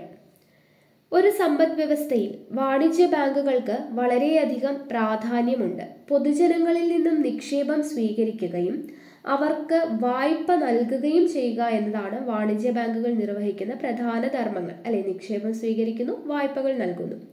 വാണിജ്യ ബാങ്കുകൾ സ്വീകരിക്കുന്ന നിക്ഷേപങ്ങൾ പ്രധാനമായിട്ടും എന്തൊക്കെയാണ്? ഡിമാൻഡ് ഡെപ്പോസിറ്റ് ഉണ്ട് കറന്റ് അക്കൗണ്ട് ഡെപ്പോസിറ്റ് ഉണ്ട് സേവിങ്സ് ഡെപ്പോസിറ്റ് ഉണ്ട് ടൈം ഡെപ്പോസിറ്റ് ഉണ്ട്. ഓക്കെ വാണിജ്യ ബാങ്കുകൾ സ്വീകരിക്കുന്ന ഡെപ്പോസിറ്റ് അല്ലെങ്കിൽ നിക്ഷേപങ്ങൾ പ്രധാനമായിട്ടും എത്ര തരത്തിലാണ്? നാല് തരത്തിലാണുള്ളത്. ഏതൊക്കെയാണ്? Demand deposit current account deposit savings deposit time deposit വാണിജ്യ ബാങ്കുകൾ പ്രധാനമായിട്ടും ക്യാഷ് ക്രെഡിറ്റ് ഓവർ ഡ്രാഫ്റ്റ് സൗകര്യം വാണിജ്യ ബില്ലുകളുടെ ഡിസ്കൗണ്ടിംഗ് തുടങ്ങിയ വായ്പാ സൗകര്യങ്ങൾ നൽകുന്നുണ്ട്. ഇതൊക്കെയാണ് ക്യാഷ് ക്രെഡിറ്റ് ഓവർ ഡ്രാഫ്റ്റ് വാണിജ്യ ബില്ലുകളുടെ ഡിസ്കൗണ്ടിങ് ഇങ്ങനെയുള്ള വായ്പാ സൗകര്യങ്ങൾ നൽകുന്നുണ്ട്. ഇവ കൂടാതെ പ്രോമിസറി നോട്ട് ഡിമാൻഡ് ഡ്രാഫ്റ്റ് എന്നിവ നൽകുകയും ഇൻഷുറൻസ് പ്രീമിയങ്ങൾ വിവിധതരം ബില്ലുകൾ തുടങ്ങിയവ സ്വീകരിക്കുകയും എ ടി എം സൗകര്യം ലോക്കർ സൗകര്യം തുടങ്ങിയ സേവനങ്ങൾ നൽകുകയും ചെയ്യുന്നു. S B T S B I Canara bank മുതലായവ വാണിജ്യ ബാങ്കുകളാണ്. ഇതെല്ലാം നമുക്ക് അറിയുന്നതാണ് അല്ലെ? S B T S B I Canara bank വാണിജ്യ ബാങ്കുകളാണ്. അവർ ചെയ്യുന്ന ഫങ്ഷൻസ് എന്തൊക്കെയാണെന്നുള്ളത് നമുക്ക് അറിയുന്നതാണ്. അടുത്തത് കേന്ദ്ര ബാങ്ക്. ഓക്കെ കേന്ദ്ര ബാങ്ക് സെൻട്രൽ ബാങ്ക് ഞാൻ പറഞ്ഞു ആർ ബി ഐനെ കുറിച്ചുള്ള എല്ലാ പോയിന്റ്സും ഇമ്പോർട്ടന്റ് ആണ്. നോക്കാം. ഓരോ രാജ്യത്തിനും ഓരോ കേന്ദ്ര ബാങ്ക് ഉണ്ട് അല്ലേ? ഒരു രാജ്യത്തിന്റെ പണ സംവിധാനത്തിലെ ഉയർന്ന സ്ഥാപനമാണ് ആ രാജ്യത്തിന്റെ കേന്ദ്ര ബാങ്ക്. പൊതുജനക്ഷേമത്തിനായി പണത്തിന്റെ സങ്കോച വികാസങ്ങൾ നിയന്ത്രിക്കുന്നതിന് ഉത്തരവാദപ്പെട്ട സ്ഥാപനമാണ് കേന്ദ്ര bank. Reserve Bank of India R B I ആണ് ഇന്ത്യയിലെ കേന്ദ്ര ബാങ്ക് എന്ന് പറയുന്നത്. അപ്പൊ കേന്ദ്ര ബാങ്കുകളുടെ ധർമ്മമാണ് ഇനി പറയുന്നത്. ഇമ്പോർട്ടന്റ് ആണ് കേട്ടോ. കേന്ദ്ര ബാങ്കുകളുടെ ധർമ്മം. ഒന്ന് നോട്ടിറക്കൽ നോട്ടിറക്കൽ ഇഷ്യൂ ഓഫ് കറൻസി അപ്പോൾ രാജ്യത്ത് കറൻസി നോട്ട് അച്ചടിച്ചിറക്കുന്നതിനുള്ള കുത്തക അധികാരം ആർക്കാണ് കേന്ദ്ര ബാങ്കിനാണ്. ഇന്ത്യയിൽ ഒരു രൂപ നോട്ടുകളും നാണയങ്ങളും ഒഴികെയുള്ള എല്ലാ കറൻസിയും പുറത്തിറക്കുന്നത് ആർ ബി ഐ ആണ്. നമ്മൾ നേരത്തെ പറഞ്ഞു. ഒരു രൂപ നോട്ടും നാണയങ്ങളും പുറത്തിറക്കുന്ന ആരാണ്? കേന്ദ്ര ഗവൺമെന്റിന്റെ ധനകാര്യ വകുപ്പാണ്. അത് നമ്മൾ പഠിച്ചതാണ്. അടുത്തത് ഗവൺമെന്റിന്റെ bank bankers to the government എന്നറിയപ്പെടുന്നത് കേന്ദ്ര ബാങ്കാണ്. ഗവൺമെന്റിന്റെ ബാങ്കായിട്ട് പ്രവർത്തിക്കുന്നത് കേന്ദ്ര ബാങ്കാണ്. ഗവൺമെന്റിന്റെ നിക്ഷേപം സൂക്ഷിക്കുകയും സർക്കാരിന് വേണ്ടി ഇടപാടുകൾ നടത്തുകയും ചെയ്യുന്നത് കേന്ദ്ര ബാങ്കാണ്. സർക്കാരിന്റെ ഏജന്റായും ഉപദേശകനായും കേന്ദ്ര ബാങ്ക് പ്രവർത്തിക്കുന്നു. ഗവൺമെന്റിന് വേണ്ടി വിദേശ കറൻസികളുടെ ക്രയവിക്രയം നടത്തുന്നതുമാരാണ് കേന്ദ്ര ബാങ്കാണ്. അപ്പോൾ ഗവൺമെന്റിന്റെ ബാങ്ക് എന്നറിയപ്പെടുന്നത് കേന്ദ്ര ബാങ്കാണ്. അടുത്തത് നമുക്കിപ്പോൾ കുറേ പ്രാവശ്യമായിട്ട് എക്സാമിന് ചോദിച്ചതാണ് ബാങ്കുകളുടെ ബാങ്ക് എന്നറിയപ്പെടുന്നത്. ബാങ്കേഴ്സ് ബാങ്ക് എന്നറിയപ്പെടുന്നത്. ഇംഗ്ലീഷിലാണ് ചോദിച്ചത് അല്ലേ? ബാങ്കേഴ്സ് ബാങ്ക് എന്നറിയപ്പെടുന്നത് കേന്ദ്ര ബാങ്കാണ്. കേന്ദ്ര ബാങ്ക് ബാങ്കുകളുടെ ബാങ്കായി പ്രവർത്തിക്കുന്നു. വാണിജ്യ ബാങ്കുകളുടെ ക്യാഷ് റിസർവിൽ ഒരു ഭാഗം കേന്ദ്ര ബാങ്ക് സൂക്ഷിക്കുന്നു. കേന്ദ്ര ബാങ്ക് വാണിജ്യ ബാങ്കുകൾക്ക് ഹ്രസ്വകാല ഫണ്ടുകൾ നൽകുകയും കേന്ദ്രീകൃത പണം അടയ്ക്കലും നീക്കലും സൗകര്യം നൽകുകയും ചെയ്യുന്നു. വാണിജ്യ ബാങ്കുകളുടെ മേൽനോട്ടം വഹിക്കുന്നതും അവയെ നിയന്ത്രിക്കുന്നതും ആരാണ് കേന്ദ്ര ബാങ്കാണ്. ഓക്കെ അടുത്ത ഫംഗ്ഷനാണ് വിദേശ നാണയത്തിന്റെ സൂക്ഷിപ്പുകാരൻ. വിദേശ നാണയത്തിന്റെയും സ്വർണത്തിന്റെയും കരുതൽ ശേഖരത്തിന്റെയും സൂക്ഷിപ്പുകാരൻ ആരാണ്? കേന്ദ്ര ബാങ്കാണ്. അടുത്ത ഫംഗ്ഷനാണ് ആപൽ ഘട്ടങ്ങളിലെ സഹായി ലെറ്റർ ഓഫ് ലാസ്റ്റ് റിസോർട്ട് അതായത് ഏതൊരു വാണിജ്യ ബാങ്കിനും സാമ്പത്തിക പ്രതിസന്ധി ഉണ്ടാകുമ്പോൾ ആർ ബി ഐ അത്തരം ബാങ്കുകൾക്ക് എന്ത് ചെയ്യും? വായ്പ അനുവദിക്കുകയും അവയെ സാമ്പത്തിക പ്രതിസന്ധി തരണം ചെയ്യാൻ സഹായിക്കുകയും ചെയ്യുന്നു. ഇങ്ങനെ വാണിജ്യ ബാങ്കുകളെ ആപൽ ഘട്ടങ്ങളിൽ സഹായിക്കുന്ന ധർമ്മത്തെയാണ് ലെൻഡർ ഓഫ് ലാസ്റ്റ് റിസോർട്ട് എന്ന് പറയുന്നത്. അതും ഇമ്പോർട്ടന്റ് ആണ്. അടുത്ത ഫംഗ്ഷനാണ് പണ സപ്ലൈയുടെ നിയന്ത്രകൻ കൺട്രോളർ ഓഫ് മണി സപ്ലൈ ഒരു സമ്പദ് വ്യവസ്ഥയിലെ പണത്തിന്റെ സപ്ലൈയും വായ്പയുടെ നിയന്ത്രണവും കേന്ദ്ര ബാങ്കിന്റെ ചുമതലയാണ്. ഓക്കെ പണത്തിന്റെ സപ്ലൈയും വായ്പയുടെ നിയന്ത്രണവും കേന്ദ്ര ബാങ്കിന്റെ ചുമതലയാണ്. ഇതിനായി കേന്ദ്ര ബാങ്ക് ഉൾക്കൊള്ളുന്ന നയമാണ് എന്ത്? പണനയം വളരെയധികം ഇമ്പോർട്ടന്റ് ആണ്. മോണിറ്ററി പോളിസി അതായത് പണലഭ്യത പണത്തിന്റെ അളവ് പലിശ നിരക്ക് എന്നിവയെ സംബന്ധിച്ചുള്ള കേന്ദ്ര ബാങ്കിന്റെ നയമാണ് പണനയം എന്ന് പറയുന്നത്. പണനയത്തിലെ ഉപകരണങ്ങൾ താഴെ പറയുന്നവയാണ്. ഇതിലൂടെയാണ് ആർ ബി ഐ പണത്തിന്റെ അളവും ബാങ്കുകളുടെ വായ്പയുടെ അളവും നിയന്ത്രിക്കുന്നത്. അപ്പോൾ പണനയത്തിലെ ഉപകരണങ്ങൾ ഏതൊക്കെയാണ്? വളരെയധികം ഇമ്പോർട്ടന്റ് ആണ്. അപ്പോൾ ആർ ബി ഐയുടെ പണനയം. പണനയത്തിന്റെ വരുന്ന എന്താണ്? ഉപകരണങ്ങൾ. ഒന്നാമത്തേത് ബാങ്ക് റേറ്റ് ബാങ്ക് റേറ്റ് എന്ന് പറയുമ്പോൾ കേന്ദ്ര ബാങ്ക് വാണിജ്യ ബാങ്കുകൾക്ക് കടം കൊടുക്കുന്നതിന്റെ നിരക്കിനെയാണ് ബാങ്ക് റേറ്റ് എന്ന് പറയുന്നത്. എന്താണ് ബാങ്ക് റേറ്റ് കേന്ദ്ര ബാങ്ക് വാണിജ്യ ബാങ്കുകൾക്ക് കടം കൊടുക്കുന്നതിന്റെ നിരക്കിനെയാണ് ബാങ്ക് റേറ്റ് എന്ന് പറയുന്നത്. പണപ്പെരുപ്പ സമയത്ത് പണപ്പെരുപ്പ സമയത്ത് കേന്ദ്ര ബാങ്ക് ബാങ്ക് റേറ്റ് വർദ്ധിപ്പിക്കും. ഇത് ഇമ്പോർട്ടന്റ് ആണ് കേട്ടോ. ചിലപ്പോൾ നമുക്ക് ചോദിക്കാം. കഴിഞ്ഞ പ്രാവശ്യം ഫിസിക്കൽ പോളിസിയിൽ പണപ്പെരുപ്പ സമയത്തും പണച്ചുരുക്ക സമയത്തും എങ്ങനെയാണെന്നുള്ളതിന് ചോദിച്ചിട്ടുണ്ടായിരുന്നു അല്ലേ? അപ്പോൾ അതുപോലെ ചിലപ്പോൾ ചോദിക്കാം. പണപ്പെരുപ്പ സമയത്ത് കേന്ദ്ര ബാങ്ക് എന്താണ് ചെയ്യുക? ബാങ്ക് റേറ്റ് വർദ്ധിപ്പിക്കുകയാണ് ചെയ്യുന്നത്. തന്മൂലം വാണിജ്യ ബാങ്കുകൾ വായ്പ നൽകുന്നതിന്റെ അളവ് കുറയും. നേരെ മറിച്ച് പണച്ചുരുക്ക സമയത്ത് ബാങ്ക് റേറ്റ് എന്ത് ചെയ്യും? കുറയ്ക്കും. ഓക്കെ പണപ്പെരുപ്പമാകുമ്പോൾ ബാങ്ക് റേറ്റ് വർദ്ധിപ്പിക്കും. പണ ചുരുക്കമാകുമ്പോൾ ബാങ്ക് റേറ്റ് കുറയ്ക്കും. അപ്പോൾ വാണിജ്യ ബാങ്കുകൾക്ക് കൂടുതൽ വായ്പ നൽകാൻ കഴിയും. അങ്ങനെ പണ ചുരുക്കം ഒഴിവാകും. ഓക്കെ ഇപ്പോൾ ബാങ്ക് റേറ്റ് എന്താണെന്ന് മനസ്സിലായല്ലോ? അടുത്തത് തുറന്ന വിപണി പ്രവർത്തനം അഥവാ ഓപ്പൺ മാർക്കറ്റ് ഓപ്പറേഷൻസ് ഓക്കെ ഇപ്പം എന്താണ് മോണിറ്ററി പോളിസിയുടെ പണനയത്തിന്റെ ഉപകരണങ്ങളാണ് പറഞ്ഞുകൊണ്ടിരിക്കുന്നത്. നമ്മൾ ഫസ്റ്റ് എന്താണ് പറഞ്ഞത്? ബാങ്ക് റേറ്റ് പറഞ്ഞു ബാങ്ക് റേറ്റ് എന്തായിരുന്നു? പണപ്പെരുപ്പ സമയത്ത് കേന്ദ്ര ബാങ്ക് ബാങ്ക് റേറ്റ് വർദ്ധിപ്പിക്കും. പണച്ചുരുക്ക സമയത്താണെങ്കിൽ ബാങ്ക് റേറ്റ് കുറയ്ക്കും. ഇനി തുറന്ന വിപണി പ്രവർത്തനമാണെങ്കിലോ? ഓപ്പൺ മാർക്കറ്റ് ഓപ്പറേഷൻസ് എങ്ങനെയാണ്? കേന്ദ്ര ബാങ്ക് ഗവൺമെന്റിന്റെ കടപ്പത്രങ്ങൾ തുറന്ന വിപണിയിൽ വിൽക്കുകയും വാങ്ങുകയും ചെയ്യുന്ന പ്രവർത്തനമാണ് തുറന്ന വിപണി പ്രവർത്തനങ്ങൾ. കേന്ദ്ര ബാങ്ക് എന്ത് ചെയ്യുന്നു? ഗവൺമെന്റിന്റെ കടപ്പത്രങ്ങൾ തുറന്ന വിപണിയിൽ വിൽക്കുകയും വാങ്ങുകയും ചെയ്യുന്നു. അപ്പോൾ പണപ്പെരുപ്പത്തെ നിയന്ത്രിക്കാൻ കേന്ദ്ര ബാങ്ക് എന്ത് ചെയ്യും? തുറന്ന വിപണിയിൽ കടപ്പത്രങ്ങൾ വിൽക്കും. ഓക്കെ പണപ്പെരുപ്പ സമയത്താണെങ്കിൽ വിൽക്കും. അപ്പോൾ ബാങ്കുകൾ ഇത് വാങ്ങും. അപ്പോൾ ബാങ്കുകൾക്ക് വായ്പ നൽകാനുള്ള ശേഷി കുറയും. അങ്ങനെ സമ്പദ് വ്യവസ്ഥയിൽ പണലഭ്യത കുറയും. ഇനി പണ ചുരുക്ക സമയത്താണെങ്കിലോ കേന്ദ്ര ബാങ്ക് എന്ത് ചെയ്യും? തുറന്ന വിപണിയിൽ നിന്നും കടപ്പത്രങ്ങൾ വാങ്ങും.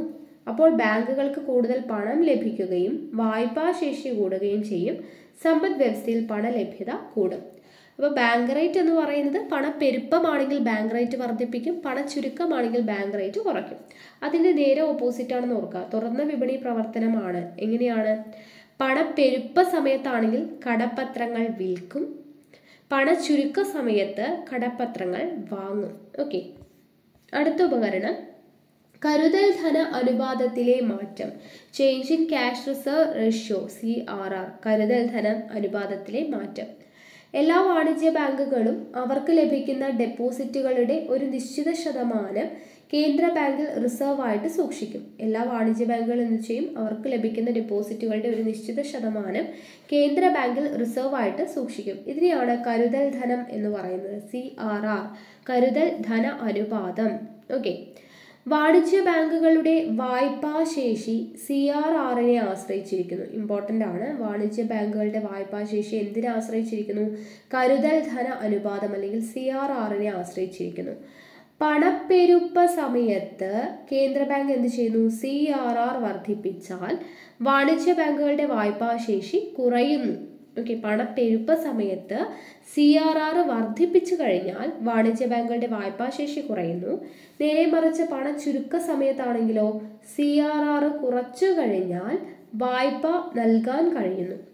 കരുതൽ ധന അനുപാതത്തിന് പുറമെ വാണിജ്യ ബാങ്കുകൾ മൊത്തം ഡെപ്പോസിറ്റുകളുടെ ഒരു നിശ്ചിത ശതമാനം ഗവൺമെന്റ് സെക്യൂരിറ്റിയിലും സ്വർണത്തിലും നിക്ഷേപിക്കുന്നു. ഇതിനെ സ്റ്റാറ്റ്യൂട്ടറി ലിക്വിഡിറ്റി അനുപാതം എന്നാണ് പറയുന്നത്. S L R statutory liquidity അനുപാതം എന്താണ്? അതായത് വാണിജ്യ ബാങ്കുകൾ കരുതൽ ധന അനുപാതത്തിന് പുറമെ വാണിജ്യ ബാങ്കുകൾ എന്ത് ചെയ്യുന്നു? മൊത്തം ഡെപ്പോസിറ്റുകളുടെ ഒരു നിശ്ചിത ശതമാനം ഗവൺമെന്റ് സെക്യൂരിറ്റിയിലും സ്വർണത്തിലും നിക്ഷേപിക്കുന്നതിനെയാണ് സ്റ്റാറ്റ്യൂട്ടറി ലിക്വിഡിറ്റി അനുപാതം എന്ന് പറയുന്നത്. അടുത്തതാണ് സ്റ്റെറിലൈസേഷൻ നടപടികൾ സ്റ്റെറിലൈസേഷൻ നടപടികൾ. എന്താണ്? സമ്പദ് വ്യവസ്ഥയ്ക്ക് ഉള്ളിലേക്കോ പുറത്തേക്കോ ഉള്ള വിദേശ നാണയത്തിന്റെ അമിത പ്രവാഹത്തെ തടഞ്ഞ് സമ്പദ് വ്യവസ്ഥയെ സുസ്ഥിരമായി നിലനിർത്തുന്നതിന് കേന്ദ്ര ബാങ്ക് കൈക്കൊള്ളുന്ന നടപടികളാണ് സ്റ്റെറിലൈസേഷൻ. സമ്പദ് വ്യവസ്ഥയ്ക്ക് ഉള്ളിലേക്കോ അല്ലെങ്കിൽ പുറത്തേക്കോ ഉള്ള വിദേശ നാണയത്തിന്റെ അമിത പ്രവാഹത്തെ തടഞ്ഞ് സമ്പദ് വ്യവസ്ഥയെ സുസ്ഥിരമായി നിലനിർത്തുന്നതിനാണ് ആ ഒരു നടപടിക്കാണ് സ്റ്റെറിലൈസേഷൻ എന്ന് പറയുന്നത്. ഓക്കെ അപ്പോൾ ഇത്രയും കിട്ടിയല്ലോ. അടുത്തത് റിപ്പോർട്ടുകളുടെ പ്രസിദ്ധീകരണം. നോക്കുക. കേന്ദ്ര ബാങ്കിന്റെ മറ്റൊരു പ്രധാനപ്പെട്ട ധർമ്മമാണ് ബാങ്കിംഗ് കറൻസി ധനകാര്യം സ്ഥൂല സമ്പദ് വ്യവസ്ഥാ സൂചകങ്ങൾ എന്നിവയെ പറ്റിയിട്ടുള്ള റിപ്പോർട്ട് പ്രസിദ്ധീകരിക്കുക എന്നുള്ളത്. കേന്ദ്ര ബാങ്കിന്റെ മറ്റൊരു ഫംഗ്ഷനാണ് റിപ്പോർട്ട് പ്രസിദ്ധീകരിക്കുക. എന്നതിനെ കുറിച്ചാണ് ബാങ്കിംഗ് കറൻസി ധനകാര്യം സ്ഥൂല സമ്പദ് വ്യവസ്ഥ സൂചകങ്ങൾ എന്നിവയെ പറ്റിയിട്ടുള്ള റിപ്പോർട്ട്. ഇവ സാമ്പത്തിക ആസൂത്രണത്തിനും നയരൂപീകരണത്തിനും വളരെ സഹായകമാണ്. അടുത്ത ഫംഗ്ഷൻ നോക്കുക ധാർമ്മിക പ്രേരണ. മോറൽ സോഷ്യൽ എന്താണ്? കേന്ദ്ര ബാങ്കിന്റെ വായ്പാ നയം നടപ്പിലാക്കുവാൻ അംഗബാങ്കുകളെ പ്രേരിപ്പിക്കുന്നതിനെയാണ് ധാർമ്മിക പ്രേരണ എന്ന് പറയുന്നത്. പണപ്പെരുപ്പ സമയത്ത് വായ്പയുടെ അളവ് കുറയ്ക്കുവാനും പണച്ചുരുക്ക സമയത്ത് വായ്പകളുടെ അളവ് കൂട്ടുവാനും കേന്ദ്ര വാണിജ്യ ബാങ്കുകളെ കേന്ദ്ര ബാങ്ക് വാണിജ്യ ബാങ്കുകളെ പ്രേരിപ്പിക്കുകയും ഉപദേശിക്കുകയും ചെയ്യുന്നതിനെയാണ് ധാർമ്മിക പ്രേരണ എന്ന് പറയുന്നത്.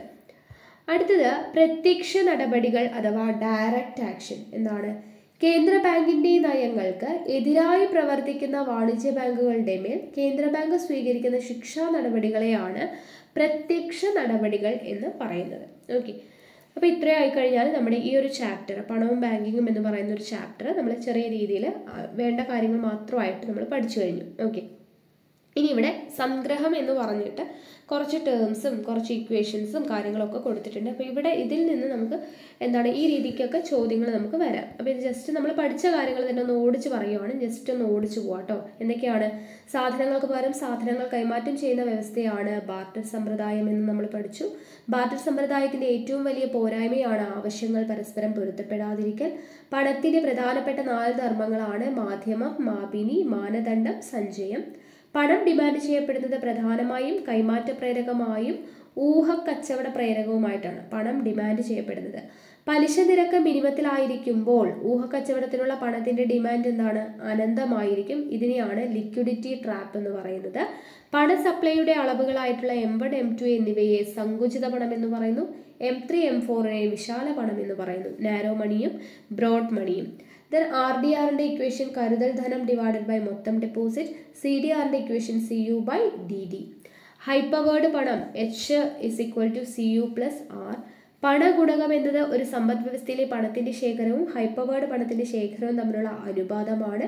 പണഗുണകം കണക്കാക്കാനുള്ള equation M by H is equal to one plus C D R divide by C D R plus R D R ഇന്ത്യയിലെ കേന്ദ്ര ബാങ്ക് ഏതാണ്? റിസർവ് ബാങ്ക് ആണ് നോട്ടിറക്കൽ ബാങ്കുകളുടെ ബാങ്ക് ഗവൺമെന്റിന്റെ ബാങ്ക് വിദേശ നാണയത്തിന്റെ സൂക്ഷിപ്പുകാരൻ ആപത്ഘട്ടത്തിലെ സഹായകൻ വായ്പാ നിയന്ത്രകൻ എന്നിവയാണ് കേന്ദ്ര ബാങ്കിന്റെ പ്രധാനപ്പെട്ട ധർമ്മങ്ങൾ.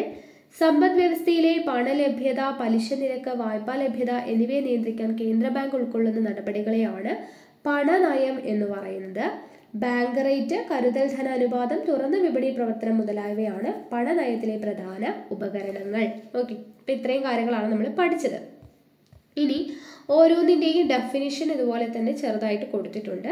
അപ്പോൾ അതും നിങ്ങൾ ജസ്റ്റ് വായിച്ചു നോക്കുക കേട്ടോ. ബാർട്ടർ സിസ്റ്റം എന്ന് പറഞ്ഞാൽ എന്താണ്? നമ്മൾ കുറേ പ്രാവശ്യം പറഞ്ഞല്ലേ? സാധനങ്ങൾക്ക് പകരം സാധനങ്ങൾ കൈമാറ്റം ചെയ്യുന്ന രീതിയാണ് ബാർട്ടർ സമ്പ്രദായം. പണത്തിന്റെ സപ്ലൈ എന്താണ്? ഒരു നിശ്ചിത സമയത്ത് പൊതുജനങ്ങൾ വ്യാപാരികൾ സ്ഥാപനങ്ങൾ മുതലായവ ഇടപാടുകൾ നടത്തുന്നതിനായി കൈവശം വയ്ക്കുന്ന പണത്തിന്റെ മൊത്തം അളവാണ് പണത്തിന്റെ സപ്ലൈ അടുത്തത് കൈമാറ്റ പ്രേരകം എന്താണ്? ദൈനംദിന ഇടപാടുകൾ നടത്തുന്നതിന് വേണ്ടി ജനങ്ങൾ പണം കൈവശം സൂക്ഷിക്കുന്നതാണ് കൈമാറ്റ പ്രേരകം ഊഹക്കച്ചവട പ്രേരകം എന്ന് വെച്ചാൽ എന്താ? ഭൂമി സ്വർണം കടപ്പത്രങ്ങൾ ഷെയറുകൾ ബോണ്ടുകൾ തുടങ്ങിയ ആസ്തികളുടെ വില ഭാവിയിൽ വർദ്ധിക്കുമെന്ന് കരുതി അവ വാങ്ങുകയും വില ഉയർന്നിരിക്കുമ്പോൾ ഭാവിയിൽ അവയുടെ വില കുറയുമെന്ന പ്രതീക്ഷയിൽ അവ വിൽക്കുകയും ചെയ്യുന്ന രീതിയാണ് ഊഹക്കച്ചവട പ്രേരകം. അടുത്തത് സങ്കുചിത പണം എന്ന് പറഞ്ഞാൽ എം വൺ എം ടു ആണ് സങ്കുചിത പണം. എം ത്രീ എം ഫോർ നമ്മൾ പറഞ്ഞല്ലോ അല്ലേ? അതുപോലെ ലിക്വിഡിറ്റി ട്രാപ്പ് ലിക്വിഡിറ്റി ട്രാപ്പ് എന്ന് പറഞ്ഞാൽ എന്താണ്? പലിശ നിരക്ക് മിനിമം ആയിരിക്കുമ്പോൾ ഊഹ കച്ചവടത്തിനായി പണം അനന്തമായി കൈവശം വയ്ക്കുന്ന ആഗ്രഹമാണ് ലിക്വിഡിറ്റി ട്രാപ്പ് പണനയം എന്ന് പറഞ്ഞാൽ എന്താണ്? പണലഭ്യത പണത്തിന്റെ അളവ് പലിശ നിരക്ക് എന്നിവയെ സംബന്ധിച്ചുള്ള കേന്ദ്ര ബാങ്കിന്റെ നയമാണ് പണനയം ആർ ഡി ആർ എന്ന് പറയുമ്പോൾ എന്താണ്? ബാങ്കുകൾ കരുതൽ ധനമായി സൂക്ഷിക്കുന്ന പണവും ബാങ്കുകളിലെ മൊത്തം നിക്ഷേപവും തമ്മിലുള്ള അനുപാതമാണ് R D R reserve deposit ratio C D R എന്താണ്? പൊതുജനങ്ങൾ കൈവശം സൂക്ഷിക്കുന്ന കറൻസിയുടെ അളവും ബാങ്കുകളിലുള്ള അവരുടെ ഡെപ്പോസിറ്റും തമ്മിലുള്ള അനുപാതമാണ് C D R currency deposit അനുപാതം. ഹൈപ്പവേർഡ് മണി നമ്മൾ പറഞ്ഞു ഒരു രാജ്യത്തിലെ കേന്ദ്ര ധനകാര്യ സ്ഥാപനത്തിന്റെ മൊത്തം ബാധ്യതയാണ് ഹൈപ്പവേർഡ് പണം. പണഗുണകം എന്ന് വെച്ചാൽ ഒരു സമ്പദ് വ്യവസ്ഥയിലെ പണത്തിന്റെ ശേഖരവും ഹൈപ്പവേർഡ് പണത്തിന്റെ ശേഖരവും തമ്മിലുള്ള അനുപാതമാണ് പണഗുണകം. ആപത്കാലത്തെ സഹായകൻ അല്ലെ? വാണിജ്യ ബാങ്കുകൾക്ക് സാമ്പത്തിക പ്രതിസന്ധി ഉണ്ടാകുമ്പോൾ അത്തരം ബാങ്കുകൾക്ക് ആർ ബി ഐ വായ്പ അനുവദിക്കുകയും അവയെ സാമ്പത്തിക പ്രതിസന്ധി തരണം ചെയ്യാൻ സഹായിക്കുകയും ചെയ്യുന്നു. ഇതുകൊണ്ടാണ് ആപത്ഘട്ടങ്ങളിൽ സഹായിക്കുന്ന ധർമ്മം എന്നുള്ള രീതിക്ക് ആപത്കാലത്തെ സഹായകൻ എന്ന കേന്ദ്ര ബാങ്കിനെ വിളിക്കാൻ കാര്യം. അടുത്തത് ബാങ്ക് നിരക്ക് എന്താണ്? കേന്ദ്ര ബാങ്ക് വാണിജ്യ ബാങ്കുകൾക്ക് പണം കണക്കൊടുക്കുന്ന പലിശ നിരക്കാണ് ബാങ്ക് റേറ്റ് എന്ന് പറയുന്നത് അല്ലെങ്കിൽ ബാങ്ക് നിരക്ക്. കരുതൽ ധനാനുപാതം എന്ന് വെച്ചാൽ എന്താണ്? എല്ലാ വാണിജ്യ ബാങ്കുകൾക്കും അവർക്ക് ലഭിക്കുന്ന ഡെപ്പോസിറ്റുകളുടെ ഒരു നിശ്ചിത ശതമാനം കേന്ദ്ര ബാങ്കിൽ റിസർവ് ആയിട്ട് സൂക്ഷിക്കുന്നു. ഇതിനെയാണ് കരുതൽ ധന അനുപാതം എന്ന് പറയുന്നത്. അടുത്തത് തുറന്ന വിപണി പ്രവർത്തനം എന്താണ്? ഗവൺമെന്റിന്റെ കടപ്പത്രങ്ങൾ തുറന്ന വിപണിയിലൂടെ കേന്ദ്ര ബാങ്ക് വിൽക്കുകയും വാങ്ങുകയും ചെയ്യുന്ന പ്രവർത്തനമാണ് തുറന്ന വിപണി പ്രവർത്തനങ്ങൾ. അടുത്തത് S L R S L R എന്താ? വാണിജ്യ ബാങ്കുകൾ മൊത്തം ഡെപ്പോസിറ്റുകളുടെ ഒരു നിശ്ചിത ശതമാനം ഗവൺമെന്റ് സെക്യൂരിറ്റിയിലും സ്വർണത്തിലും നിക്ഷേപിക്കുന്നതിനെയാണ് സ്റ്റാറ്റ്യൂട്ടറി ലിക്വിഡിറ്റി അനുപാതം എസ് എൽ ആർ എന്ന് പറയുന്നത്. സ്റ്റെറിലൈസേഷൻ എന്ന് പറഞ്ഞു കഴിഞ്ഞാൽ സമ്പദ് വ്യവസ്ഥയ്ക്കുള്ളിലേക്കോ പുറത്തേക്കോ ഉള്ള വിദേശ നാണയത്തിന്റെ അമിത പ്രവാഹത്തെ തടഞ്ഞ് സമ്പദ് വ്യവസ്ഥയെ സുസ്ഥിരമായി നിലനിർത്തുന്നതിന് കേന്ദ്ര ബാങ്ക് കൈക്കൊള്ളുന്ന നടപടികളാണ് സ്റ്റെറിലൈസേഷൻ.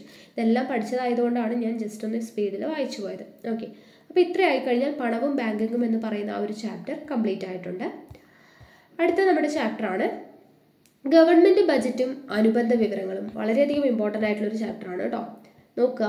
ആദ്യത്തെ ഹെഡിങ് ബജറ്റ് എന്താണ് ബജറ്റ് എന്ന് പറഞ്ഞു കഴിഞ്ഞാൽ? പ്ലസ് ടു പ്രിലിംസിന് ചോദിച്ചിട്ടുണ്ടായിരുന്നു. ഗവൺമെന്റ് വിവിധ ഉറവിടങ്ങളിൽ നിന്ന് പ്രതീക്ഷിക്കുന്ന വരവുകളും വിവിധ ആവശ്യങ്ങൾക്കായി ചെലവഴിക്കേണ്ടി വരുമെന്ന് പ്രതീക്ഷിക്കുന്ന തുകകളും ബജറ്റിൽ രേഖപ്പെടുത്തിയിരിക്കും. ഒരു സാമ്പത്തിക വർഷത്തേക്കായിട്ടാണ് ഒരു ബജറ്റ് അവതരിപ്പിക്കുന്നത്. ഇന്ത്യയുടെ ഒരു സാമ്പത്തിക വർഷം ഏപ്രിൽ ഒന്ന് മുതൽ മാർച്ച് മുപ്പത്തൊന്ന് വരെയാണ്. ഇത് പ്ലസ് ടു പ്രിലിംസിൽ ചോദിച്ചിട്ടുണ്ടായിരുന്നു. ഇന്ത്യയുടെ ഒരു സാമ്പത്തിക വർഷം ഏപ്രിൽ ഒന്ന് മുതൽ മാർച്ച് മുപ്പത്തൊന്ന് വരെയാണ്. ചുരുക്കത്തിൽ ഒരു സാമ്പത്തിക വർഷത്തേക്ക് സർക്കാർ പ്രതീക്ഷിക്കുന്ന വരവുകളും ചെലവുകളും അടങ്ങിയ ധനകാര്യ രേഖയാണ് ബജറ്റ്. എന്താണ് ബജറ്റ്? ഒരു സാമ്പത്തിക വർഷത്തേക്ക് സർക്കാർ പ്രതീക്ഷിക്കുന്ന വരവുകളും ചെലവുകളും അടങ്ങിയിട്ടുള്ള ധനകാര്യ രേഖയാണ് ബജറ്റ് എന്ന് പറയുന്നത്. ഇനി അടുത്തത് ഫങ്ഷൻസ് ഓഫ് ബജറ്റ് ആണ്. ബജറ്റിന്റെ ധർമ്മങ്ങൾ എന്തൊക്കെയാണ്? ഒന്നാമത്തെ ധർമ്മം വിനിയോഗ ധർമ്മം യൂട്ടിലൈസേഷൻ ഫങ്ഷൻ എന്താണ്? പൊതുവസ്തുക്കൾ എല്ലാം ജനങ്ങൾക്ക് ലഭ്യമാക്കേണ്ടത് സർക്കാരിന്റെ കടമയാണ്. അതിനായി സർക്കാരിന് അതിന്റെ വിഭവങ്ങൾ വിനിയോഗിക്കേണ്ടി വരും. ഇതിനെയാണ് വിനിയോഗധർമ്മം എന്ന് പറയുന്നത്.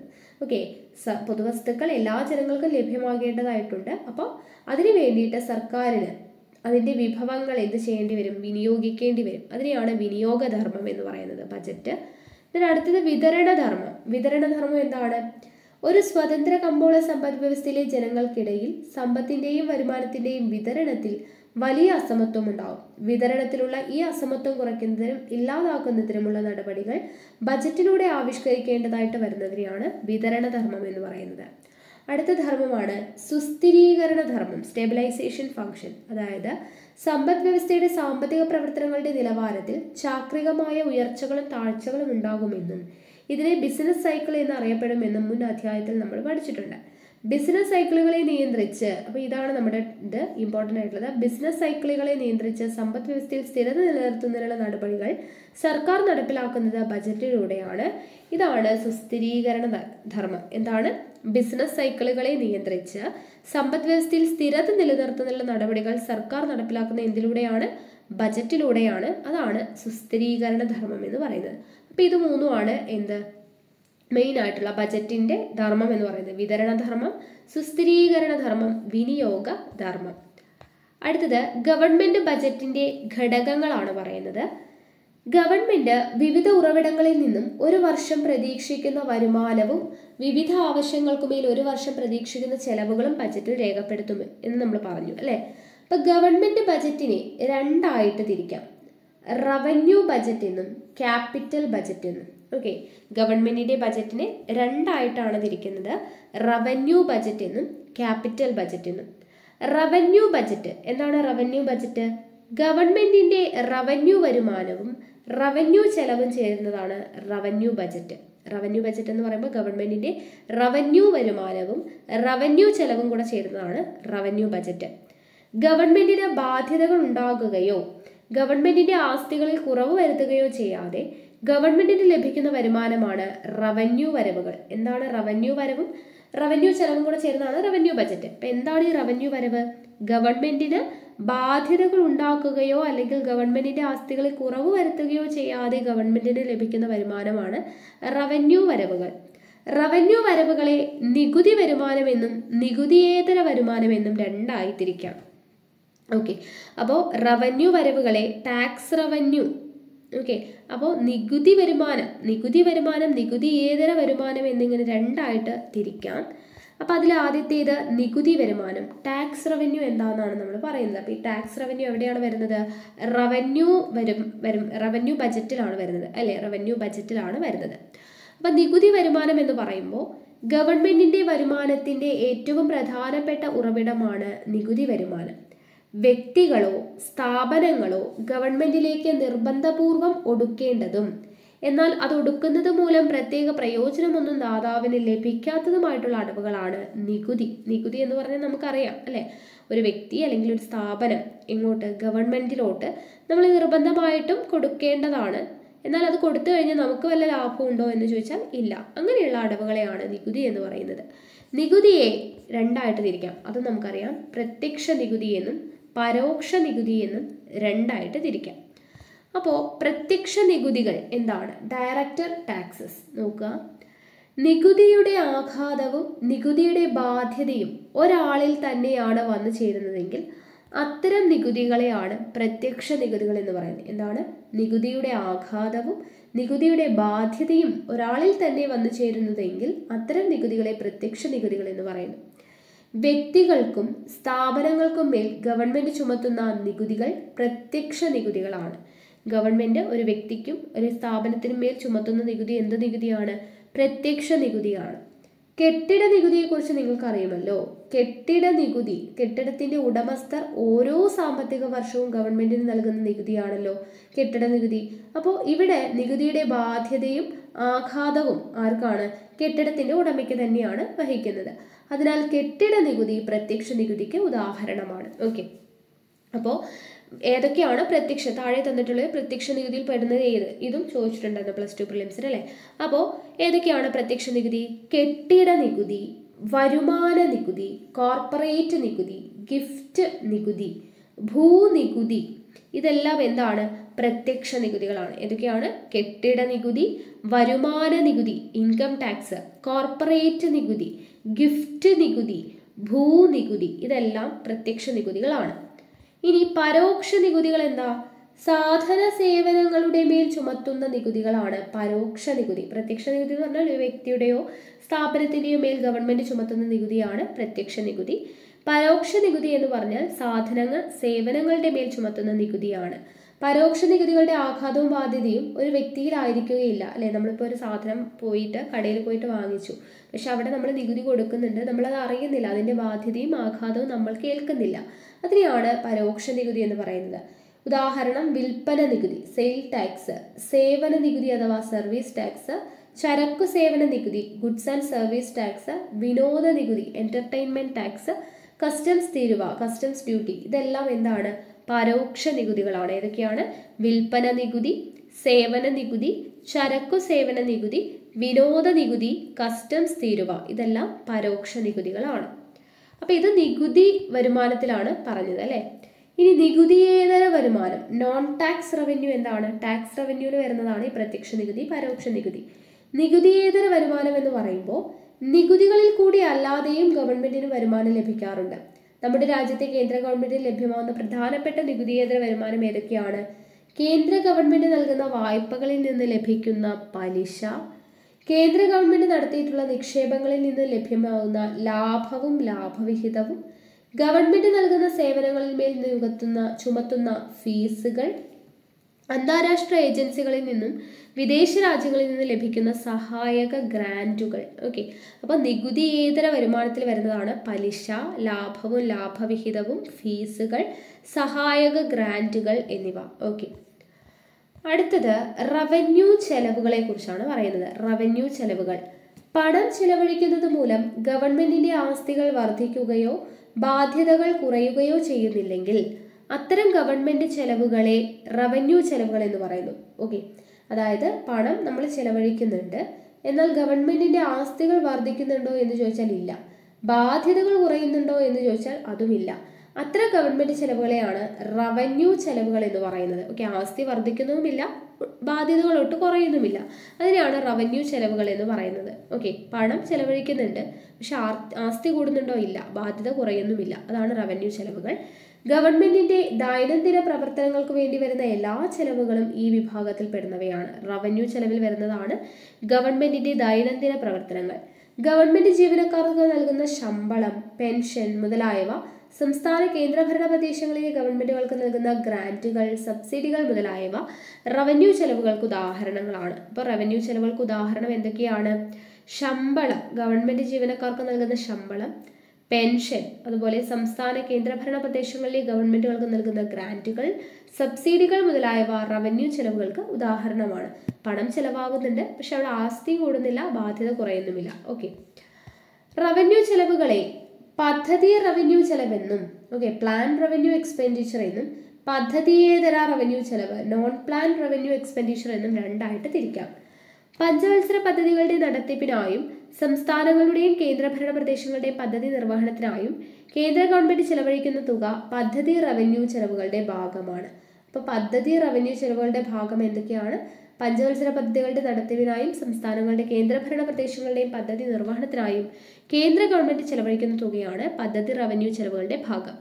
എന്നാൽ റവന്യൂ ചെലവിന്റെ ഏറിയ പങ്കും പദ്ധതിയേതര മേഖലകളിൽ നടത്തുന്ന ചെലവുകളാണ്. ഏതൊക്കെയാണ്?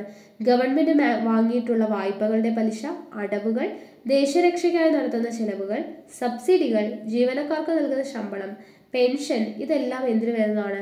പദ്ധതിയേതര ചെലവുകളിൽ ഉൾപ്പെടുന്നവയാണ്. ഓക്കെ അടുത്തത് മൂലധന ബജറ്റ്. ഗവൺമെന്റിന്റെ ആസ്തിയുടെയും ബാധ്യതയുടെയും വിവരങ്ങളാണ് മൂലധന ബജറ്റിൽ പ്രതിപാദിക്കുന്നത്. മൂലധന ബജറ്റിനും മൂലധന വരവുകൾ മൂലധന ചെലവുകൾ എന്നിങ്ങനെ രണ്ട് വിഭാഗങ്ങളുണ്ട്. അപ്പോൾ അതിൽ ആദ്യം മൂലധന വരവുകളാണ് പറയുന്നത്. ഗവൺമെന്റിന്റെ ആസ്തികൾ വിറ്റഴിക്കുന്നതിലൂടെയോ ഗവൺമെന്റിന്റെ ബാധ്യതകൾ ഉണ്ടാക്കുന്നതിലൂടെയോ ലഭിക്കുന്ന വരുമാനത്തെയാണ് മൂലധന വരവുകൾ എന്ന് പറയുന്നത്. ഓക്കെ.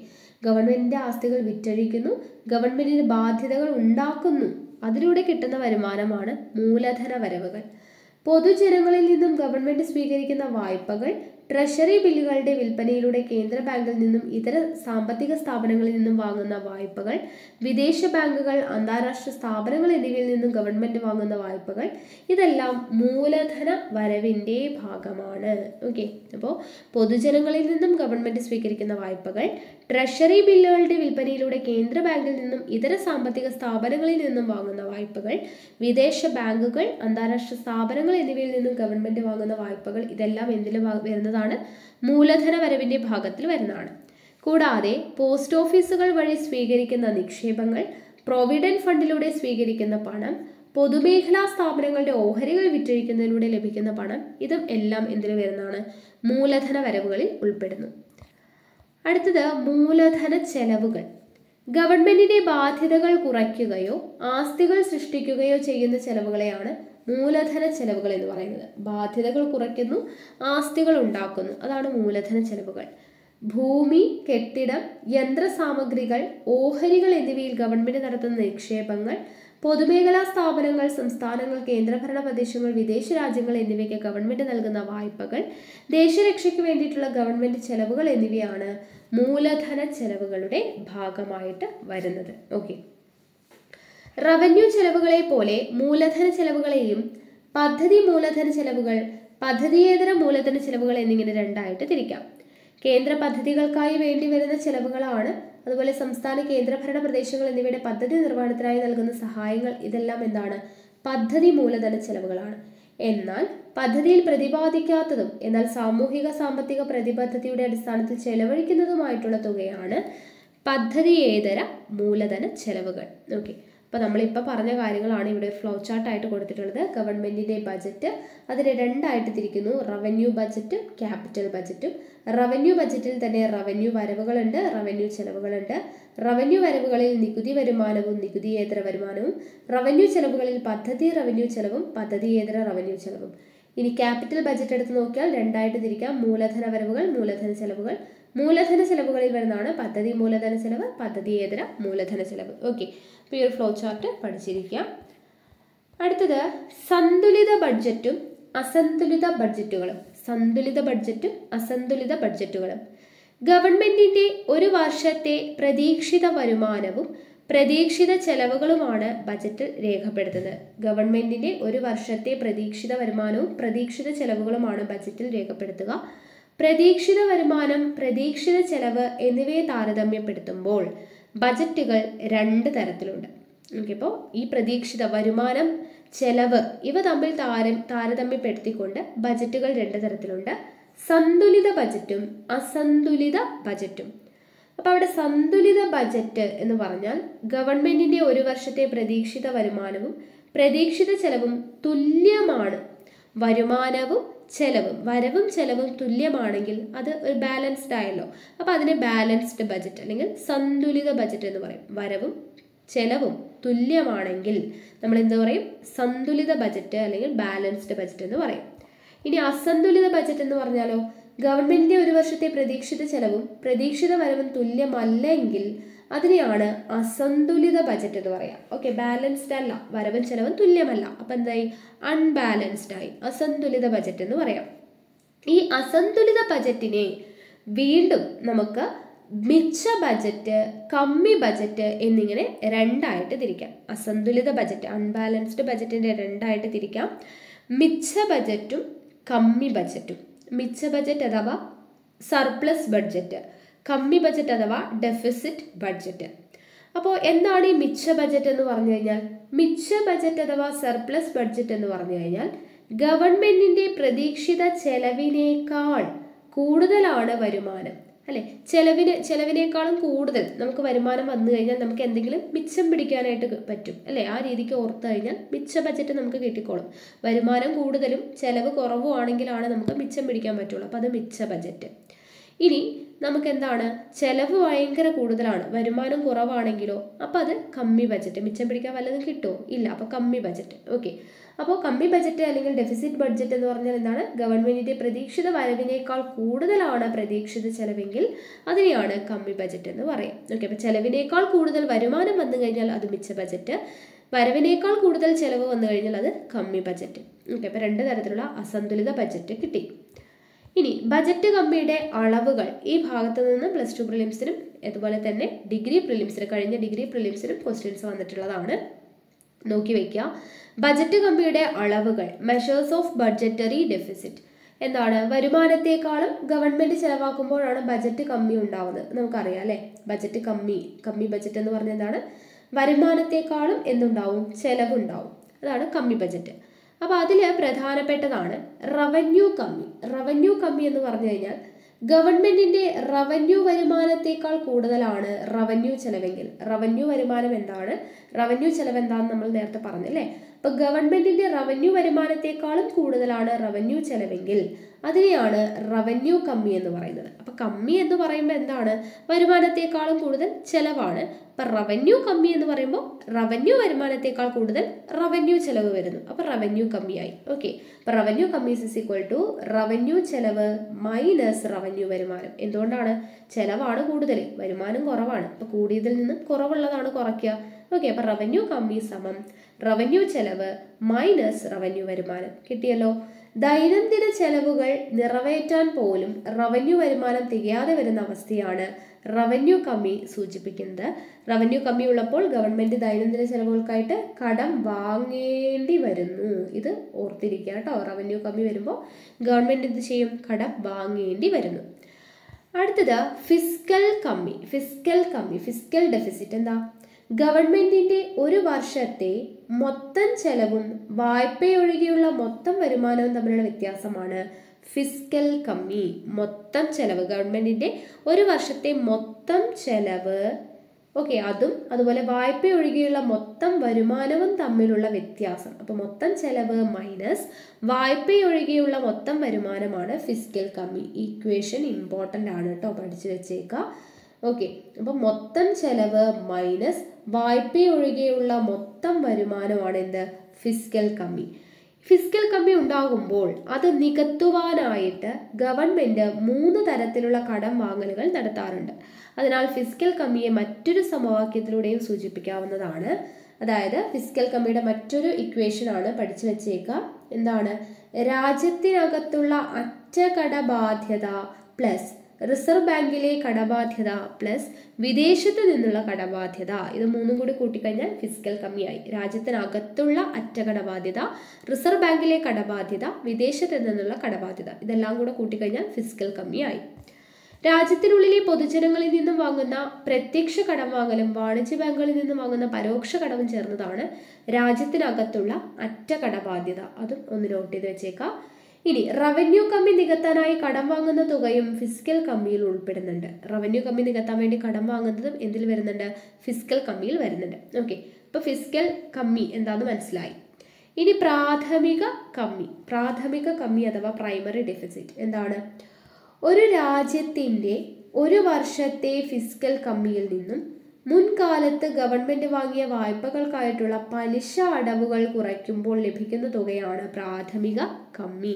അപ്പോൾ പ്രാഥമിക കമ്മിയുടെ ഇക്വേഷൻ നോക്കുക. പ്രാഥമിക കമ്മി ഈസ് ഈക്വൽ ടു ഫിസിക്കൽ കമ്മി മൈനസ് അറ്റ പലിശ ബാധ്യതകൾ. ഫിസിക്കൽ കമ്മിയിൽ നിന്നും അറ്റ പലിശ ബാധ്യതകൾ കുറച്ചാൽ എന്ത് കിട്ടുന്നു? പ്രാഥമിക കമ്മി കിട്ടുന്നു. അതായത് ഗവൺമെന്റ് വിദേശത്തേക്ക് അടച്ച പലിശയും വിദേശത്ത് നിന്ന് ഗവൺമെന്റിന് ലഭിച്ച പലിശയും തമ്മിലുള്ള വ്യത്യാസമാണ് അറ്റ പലിശ ഈ അറ്റ പലിശ എന്ന് വെച്ചാൽ എന്താണ്? ഗവൺമെന്റ് വിദേശത്തേക്ക് അടച്ച പലിശയും വിദേശത്ത് നിന്ന് ഗവൺമെന്റിന് ലഭിച്ച പലിശയും തമ്മിലുള്ള വ്യത്യാസമാണ് അറ്റ പലിശ ഫിസിക്കൽ കമ്മിയും അറ്റ പലിശ ബാധ്യതയും തുല്യമായിരുന്നാൽ പ്രാഥമിക കമ്മി എന്താവും? പൂജ്യമാവും അല്ലേ? ഫിസിക്കൽ കമ്മിയും ഇത് തുല്യമായാൽ ഫിസിക്കൽ കമ്മിയും ഇപ്പം അഞ്ചാണ്. അറ്റപലിശ അഞ്ചാണെങ്കിൽ അഞ്ച് മൈനസ് അഞ്ച് സീറോ ആവില്ലേ? ഞാൻ പറയാം മനസ്സിലാവാൻ വേണ്ടി പറഞ്ഞതാണ് കേട്ടോ അപ്പോൾ ഫിസിക്കൽ കമ്മിയും അറ്റപലിശ ബാധ്യതയും തുല്യമായി കഴിഞ്ഞാൽ പ്രാഥമിക കമ്മി എന്തായിട്ട് മാറും? പൂജ്യമായിട്ട് മാറും. ഗവൺമെന്റ് കടം വാങ്ങുന്ന തുക മുഴുവനും മുൻകാലങ്ങളിൽ കടം വാങ്ങിയ പണത്തിനുള്ള പലിശ കൊടുക്കാൻ ഉപയോഗിക്കുന്നു എന്നാണ് ഇത് സൂചിപ്പിക്കുന്നത്. അല്ലേ? അങ്ങനെ ആയിക്കഴിഞ്ഞാൽ എന്താണ് ഇത് സൂചിപ്പിക്കുന്നത്? ഗവൺമെന്റ് കടം വാങ്ങുന്ന തുക മുഴുവനും എന്ത് ചെയ്യുന്നു? മുൻകാലങ്ങളിൽ കടം വാങ്ങിയ പണത്തിനുള്ള പലിശ കൊടുക്കുവാൻ വേണ്ടി ഉപയോഗിക്കുന്നു എന്നാണ് ഇത് സൂചിപ്പിക്കുന്നത്. ഓക്കെ അപ്പോൾ ഫിസിക്കൽ കമ്മി എന്ന് പറയുമ്പോൾ മൊത്തം കടമാണല്ലോ. അറ്റ കടവും റിസർവ് ബാങ്കിന്റെ കടവും അല്ലേ? മൊത്തം കടമാണ്. അറ്റ പലിശ ബാധ്യതകൾ. അത് രണ്ടും തുല്യം ആകാന്നുള്ള എന്താണ് മീനിങ് എന്താണ്? കടം വാങ്ങിക്കുന്നത് മുഴുവൻ പലിശ കൊടുക്കാൻ വേണ്ടി ഉപയോഗിക്കുന്നു. രണ്ട് തുല്യമാവുന്നു എന്ന് പറയുമ്പോൾ. ഓക്കെ അത്രയേ ഉള്ളൂ. മനസ്സിലാക്കി പഠിക്കുക കേട്ടോ. ഓരോ വരികളും വായിച്ച് മനസ്സിലാക്കി പഠിക്കുക അടുത്തതാണ് ഫിസിക്കൽ പോളിസി നമുക്ക് പ്ലസ് ടു പ്രിലിംസിനും ചോദിച്ചിട്ടുണ്ടായിരുന്നു. കഴിഞ്ഞ ഡിഗ്രി പ്രിലിംസിനും ചോദിച്ചൊരു ഭാഗമാണ് ഇമ്പോർട്ടന്റ് ആണ്. ഫിസിക്കൽ നയം ഫിസിക്കൽ പോളിസി ഒരു സമ്പദ് വ്യവസ്ഥയുടെ സാമ്പത്തിക പ്രവർത്തനങ്ങളിൽ ഉണ്ടാവുന്ന ഉയർച്ച താഴ്ചകളെക്കുറിച്ചും അതിന്റെ ഫലമായി ഉണ്ടാവുന്ന ബിസിനസ് സൈക്കിളിനെ കുറിച്ചും കഴിഞ്ഞ അധ്യായത്തിൽ നമ്മൾ നേരത്തെ പറഞ്ഞു ബിസിനസ് സൈക്കിൾ അല്ലേ? അപ്പോൾ മൊത്ത ഡിമാൻഡിൽ ഉണ്ടാവുന്ന മാറ്റങ്ങളാണ് ബിസിനസ് സൈക്കിളുകൾക്ക് കാരണമാവുന്നതെന്ന് പ്രൊഫസർ ജെ എം കെയ്ൻസ് അഭിപ്രായപ്പെടുന്നു. മൊത്ത ഡിമാൻഡിലുണ്ടാവുന്ന മാറ്റങ്ങളാണ് ബിസിനസ് സൈക്കിളുകൾക്ക് കാരണം എന്നാണ് ആര് പറയുന്നത്? ജെ എം കെയ്ൻസ് അഭിപ്രായപ്പെടുന്നത്. അതിനാൽ ബിസിനസ് സൈക്കിളുകൾ ഒഴിവാക്കണമെങ്കിൽ സമ്പദ് വ്യവസ്ഥയിലെ മൊത്ത ഡിമാൻഡിനെ നിയന്ത്രിക്കേണ്ടതുണ്ട്. അപ്പോൾ ഫിസിക്കൽ നയം എന്ന് പറഞ്ഞാൽ എന്താണ്? മൊത്ത ഡിമാൻഡിനെ നിയന്ത്രിക്കുക എന്ന ലക്ഷ്യത്തോടു കൂടി പൊതുചെലവ് പൊതുകടം നികുതി നിരക്ക് എന്നിവയുമായി ബന്ധപ്പെട്ട ഒരു രാജ്യത്ത് ഗവൺമെന്റ് നടപ്പിലാക്കുന്ന നയമാണ് ഫിസ്ക്കൽ നയം. മൊത്ത ഡിമാൻഡിനെ നിയന്ത്രിക്കുക എന്ന ലക്ഷ്യത്തോടു കൂടി പൊതുചെലവ് പൊതുകടം നികുതി നിരക്ക് എന്നിവയുമായി ബന്ധപ്പെട്ട ഒരു രാജ്യത്തെ ഗവൺമെന്റ് നടപ്പിലാക്കുന്ന നയമാണ് ഫിസ്ക്കൽ നയം. ഇനി പണപ്പെരുപ്പം ഉള്ളപ്പോഴത്തെ ഫിസിക്കൽ നയം. ഇതാണ് പ്ലസ് ടു പ്രിലിംസിന് ചോദിച്ചത് അല്ലെ? അധിക ചോദനം. അല്ലെങ്കിൽ പണപ്പെരുപ്പം ഉള്ളപ്പോഴത്തെ ഫിസിക്കൽ നയങ്ങൾ എന്തൊക്കെയാണ്? പണപ്പെരുപ്പമാണ് എങ്കിൽ എല്ലാം കുറയ്ക്കുവാണ്. അത് ഓർത്താൽ മതി. ഗവൺമെന്റ് ചെലവുകൾ കുറയ്ക്കുക ട്രാൻസ്ഫർ പേയ്മെന്റുകൾ കുറയ്ക്കുക ഗവൺമെന്റ് കടം വാങ്ങൽ കുറയ്ക്കുക ഗവൺമെന്റ് മിച്ച ബജറ്റ് അവതരിപ്പിക്കുക. ഒന്ന് വൃത്തിക്ക് പഠിക്കുക. അപ്പോൾ ബാക്കിയുള്ളത് അതിന്റെ ഓപ്പോസിറ്റ് ആണ്. ഓക്കെ അപ്പോൾ പണപ്പെരുപ്പമാണെങ്കിൽ ഗവൺമെന്റ് ചെലവുകൾ കുറയ്ക്കുക ട്രാൻസ്ഫർ പേയ്മെന്റുകൾ കുറയ്ക്കുക ഗവൺമെന്റ് കടം വാങ്ങൽ കുറയ്ക്കുക ഗവൺമെന്റ് മിച്ച ബജറ്റ് അവതരിപ്പിക്കുക.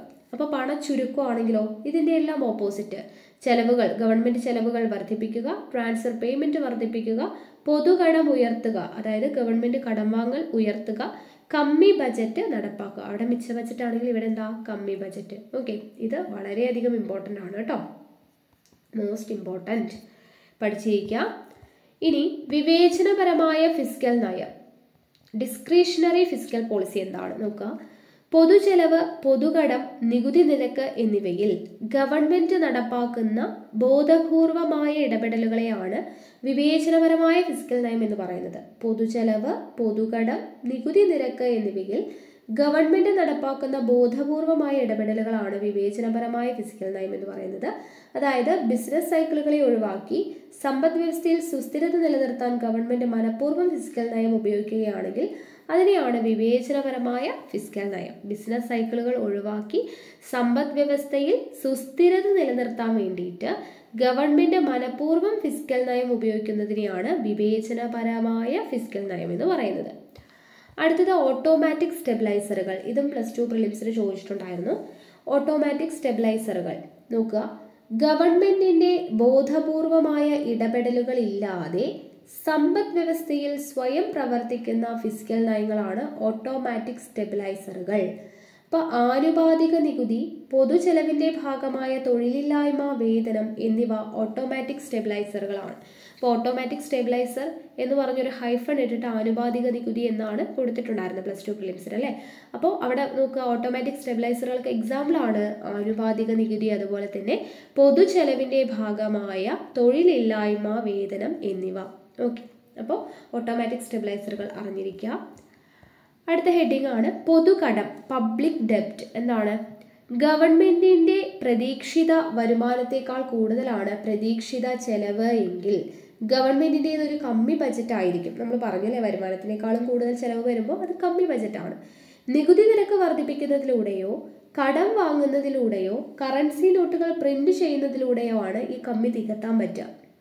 അല്ലേ? കമ്മി ബജറ്റ് വന്നു കഴിഞ്ഞാൽ ഒന്നുകിൽ നികുതി നിരക്ക് കൂട്ടുക അല്ലെങ്കിൽ കടം വാങ്ങുക അല്ലെങ്കിൽ കറൻസി നോട്ടുകൾ പ്രിന്റ് ചെയ്യുക. ഇങ്ങനെയാണ് നമുക്ക് കമ്മി നികത്താൻ പറ്റുക.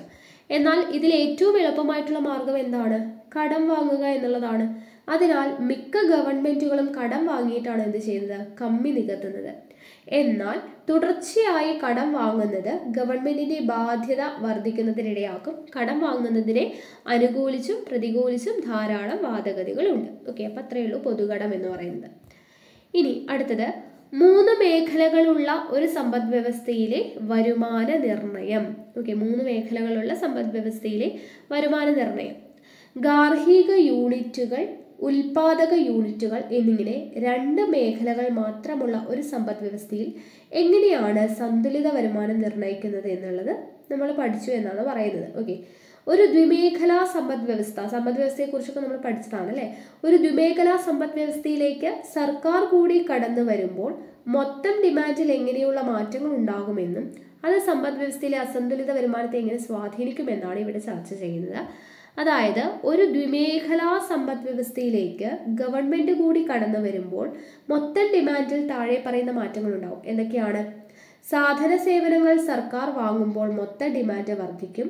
സർക്കാർ നികുതി ചുമത്തുന്നതിനാൽ ജനങ്ങളുടെ വിനിയോ വിനിയോഗയോഗ്യ വരുമാനം കുറയുന്നു. ഇത് മൊത്ത ഡിമാൻഡിൽ കുറവുണ്ടാക്കുന്നു. സർക്കാർ ക്ഷേമ പെൻഷനുകൾ തൊഴിലില്ലായ്മ വേതനം തുടങ്ങിയവ നൽകുന്നതിനാൽ ജനങ്ങളുടെ വിനിയോഗയോഗ്യ വരുമാനം വർദ്ധിക്കാൻ ഇടയാവുന്നു ഇത് മൊത്തം ഡിമാൻഡിന് വർധനവിന് കാരണമാവുന്നു. ഓക്കെ. അപ്പോൾ മൂന്ന് മേഖലകളുള്ള സമ്പദ് വ്യവസ്ഥയിലെ മൊത്തം ഡിമാൻഡിന്റെ ഘടകങ്ങൾ എന്തൊക്കെയാണ് എന്നുള്ളത് പറയുന്നുണ്ട്. ഇത് ഇമ്പോർട്ടന്റ് ആണ്.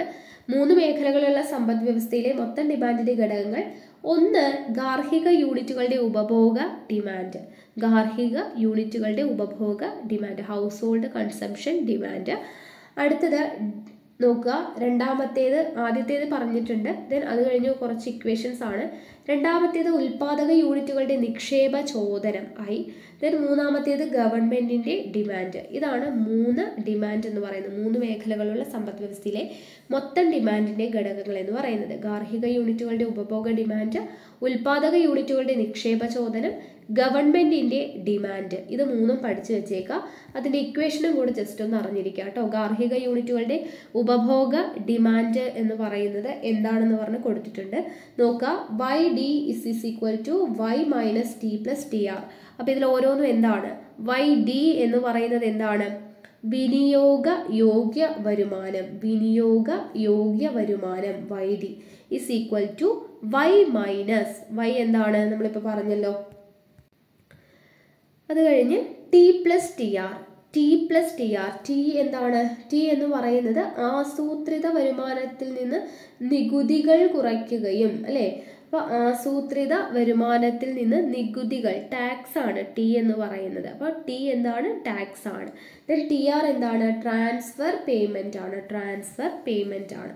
അപ്പോൾ ഇങ്ങനെയാണ് Y D is equal to Y minus T plus T R just equation ഒന്ന് പഠിച്ചു വെച്ചേക്കാം. ദെൻ അത് കഴിഞ്ഞ് വരുന്നതാണ് ഉൽപാദക യൂണിറ്റുകളുടെ നിക്ഷേപ ചോദനം I is equal to I bar എന്ന് പറഞ്ഞു തന്നിട്ടുണ്ട്. ഗവൺമെന്റിന്റെ demand G is equal to G bar എന്നും പറഞ്ഞു തന്നിട്ടുണ്ട്. ഓക്കെ ആ ജസ്റ്റ് ആ രണ്ട് ഇക്വേഷൻ ഒന്ന് പഠിച്ചു വെച്ചായിരുന്നാൽ മതി കേട്ടോ ഇനി നമുക്ക് പഠിക്കാനുള്ളത് സന്തുലിത വരുമാനത്തിലുണ്ടാക്കുന്ന മാറ്റം എന്ന് പറഞ്ഞു കൊടുത്തിട്ടുണ്ട്. അത് ജസ്റ്റ് ഒന്ന് വായിച്ചു നോക്കിയാൽ മതി. ഗവൺമെന്റ് ചെലവ് ട്രാൻസ്ഫർ പേയ്മെന്റ് ഉപഭോഗ ഡിമാൻഡ് നിക്ഷേപക ഡിമാൻഡ് എന്നിവയിൽ ഉണ്ടാക്കുന്ന മാറ്റങ്ങൾ മൊത്തം ഡിമാൻഡിൽ മാറ്റത്തിന് കാരണമാവുന്നു. ഇതിൽ ഏതെങ്കിലും ഒന്നിൽ മാറ്റം ഉണ്ടായാൽ അത് മൊത്തം ഡിമാൻഡിൽ മാറ്റം ഉണ്ടാക്കും. ഈ ഘടകങ്ങൾ വർദ്ധിക്കുമ്പോൾ മൊത്തം ഡിമാൻഡ് വർദ്ധിക്കും. ഇത് മൊത്തം എന്താണ്? കുറയുവാണെങ്കിൽ മൊത്തം ഡിമാൻഡ് എന്ത് ചെയ്യും? കുറയുകയും ചെയ്യും. മൊത്തം സപ്ലൈയിൽ മാറ്റമില്ലാതെ മൊത്തം ഡിമാൻഡ് ഉയരുകയാണെങ്കിൽ സമ്പദ് വ്യവസ്ഥയിലെ സന്തുലിത വരുമാനം വർദ്ധിക്കുന്നു. അതുപോലെ തന്നെ മൊത്തം സപ്ലൈയിൽ മാറ്റമില്ലാതെ മൊത്തം ഡിമാൻഡ് കുറയുകയാണെങ്കിൽ സമ്പദ് വ്യവസ്ഥയിലെ സന്തുലിത വരുമാനം കുറയുന്നു.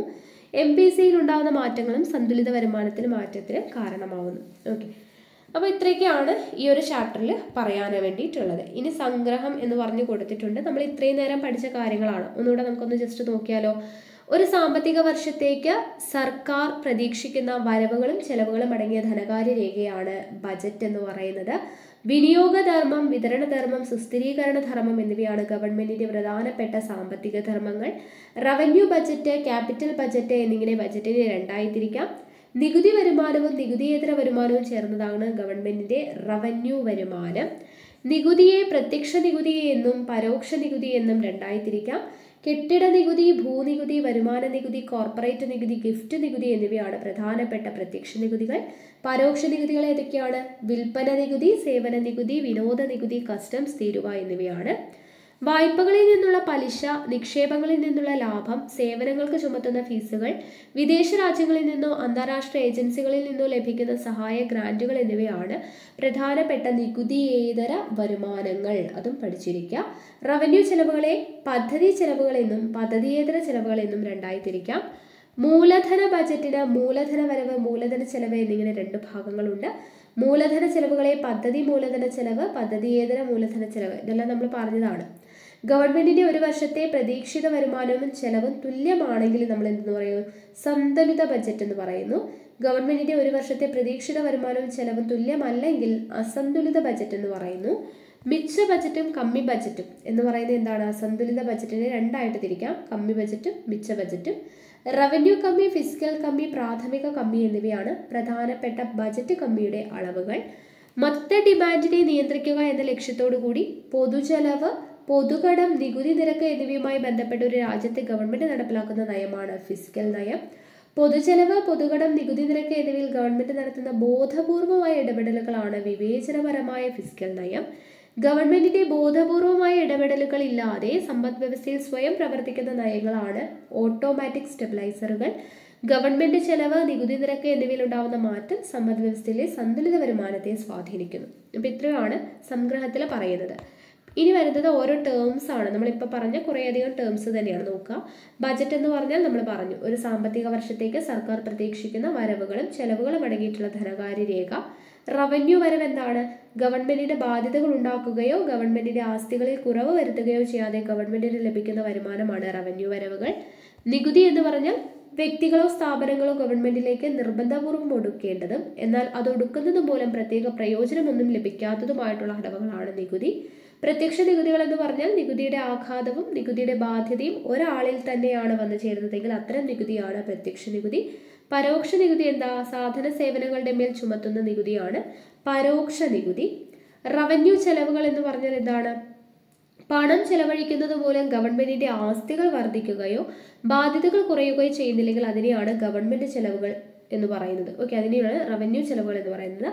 മൂലധന വരവുകൾ എന്ന് പറഞ്ഞാൽ ഗവൺമെന്റിന്റെ ആസ്തികൾ വിറ്റഴിക്കുന്നതിലൂടെയോ ഗവൺമെന്റിന്റെ ബാധ്യതകൾ ഉണ്ടാക്കുന്നതിലൂടെയോ ലഭിക്കുന്ന വരുമാനമാണ് മൂലധന വരവുകൾ. മൂലധന ചെലവുകൾ എന്ന് പറഞ്ഞാൽ ഗവൺമെന്റിന്റെ ബാധ്യതകൾ കുറയ്ക്കുകയോ ആസ്തികൾ സൃഷ്ടിക്കുകയോ ചെയ്യുന്ന ചെലവുകളാണ് മൂലധന ചെലവുകൾ. അടുത്തത് സന്തുലിത ബജറ്റ് നമ്മൾ പറഞ്ഞു. രണ്ടും അല്ലെ പ്രതീക്ഷിത വരുമാനം പ്രതീക്ഷിത ചെലവും തുല്യമാണെങ്കിൽ സന്തുലിത ബജറ്റാണ്. റവന്യൂ കമ്മി എന്ന് പറഞ്ഞാൽ ഗവൺമെന്റിന്റെ റവന്യൂ വരുമാനത്തേക്കാൾ കൂടുതലാണ്. റവന്യൂ ചെലവെങ്കിൽ റവന്യൂ കമ്മി എന്ന് പറഞ്ഞു. അസന്തുലിത ബഡ്ജറ്റ് എന്ന് പറയുമ്പോൾ വരുമാനവും ചെലവും തുല്യമല്ല എങ്കിൽ അസന്തുലിതമാണ്.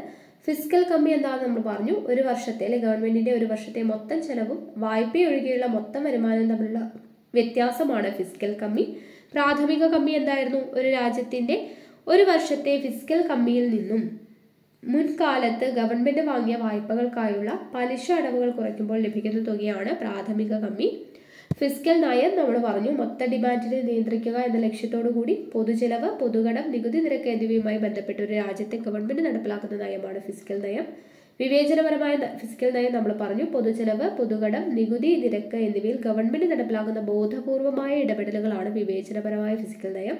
ഓട്ടോമാറ്റിക് സ്റ്റെബിലൈസറുകൾ എന്താണ് ഗവൺമെന്റിന്റെ ബോധപൂർവമായ ഇടപെടലുകൾ അല്ലാതെ സമ്പദ് വ്യവസ്ഥയിൽ സ്വയം പ്രവർത്തിക്കുന്ന ഫിസിക്കൽ നയങ്ങളാണ് ഓട്ടോമാറ്റിക് സ്റ്റെബിലൈസറുകൾ ഓക്കെ അപ്പോൾ ഇത്രയും ആയിക്കഴിഞ്ഞാൽ നമുക്ക് ഇന്ന് ഡേ ടൂവിൽ പഠിക്കേണ്ട രണ്ട് ചാപ്റ്റേഴ്സ് നമ്മൾ കംപ്ലീറ്റ് ആക്കിയിട്ടുണ്ട്. അപ്പോൾ എല്ലാവരും നല്ല രീതിയിൽ തന്നെ പഠിക്കുന്നു എന്ന് വിശ്വസിക്കുന്നു.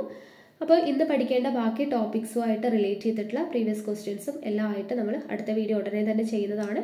നാളത്തേക്കുള്ള മൂന്നാമത്തെ ദിവസത്തേക്കുള്ള ടൈം ടേബിൾ നമ്മൾ ഉടനെ തന്നെ ചെയ്യുന്നതാണ്. ഓക്കെ അപ്പോൾ എന്തായാലും നമുക്ക് കാണാം. താങ്ക്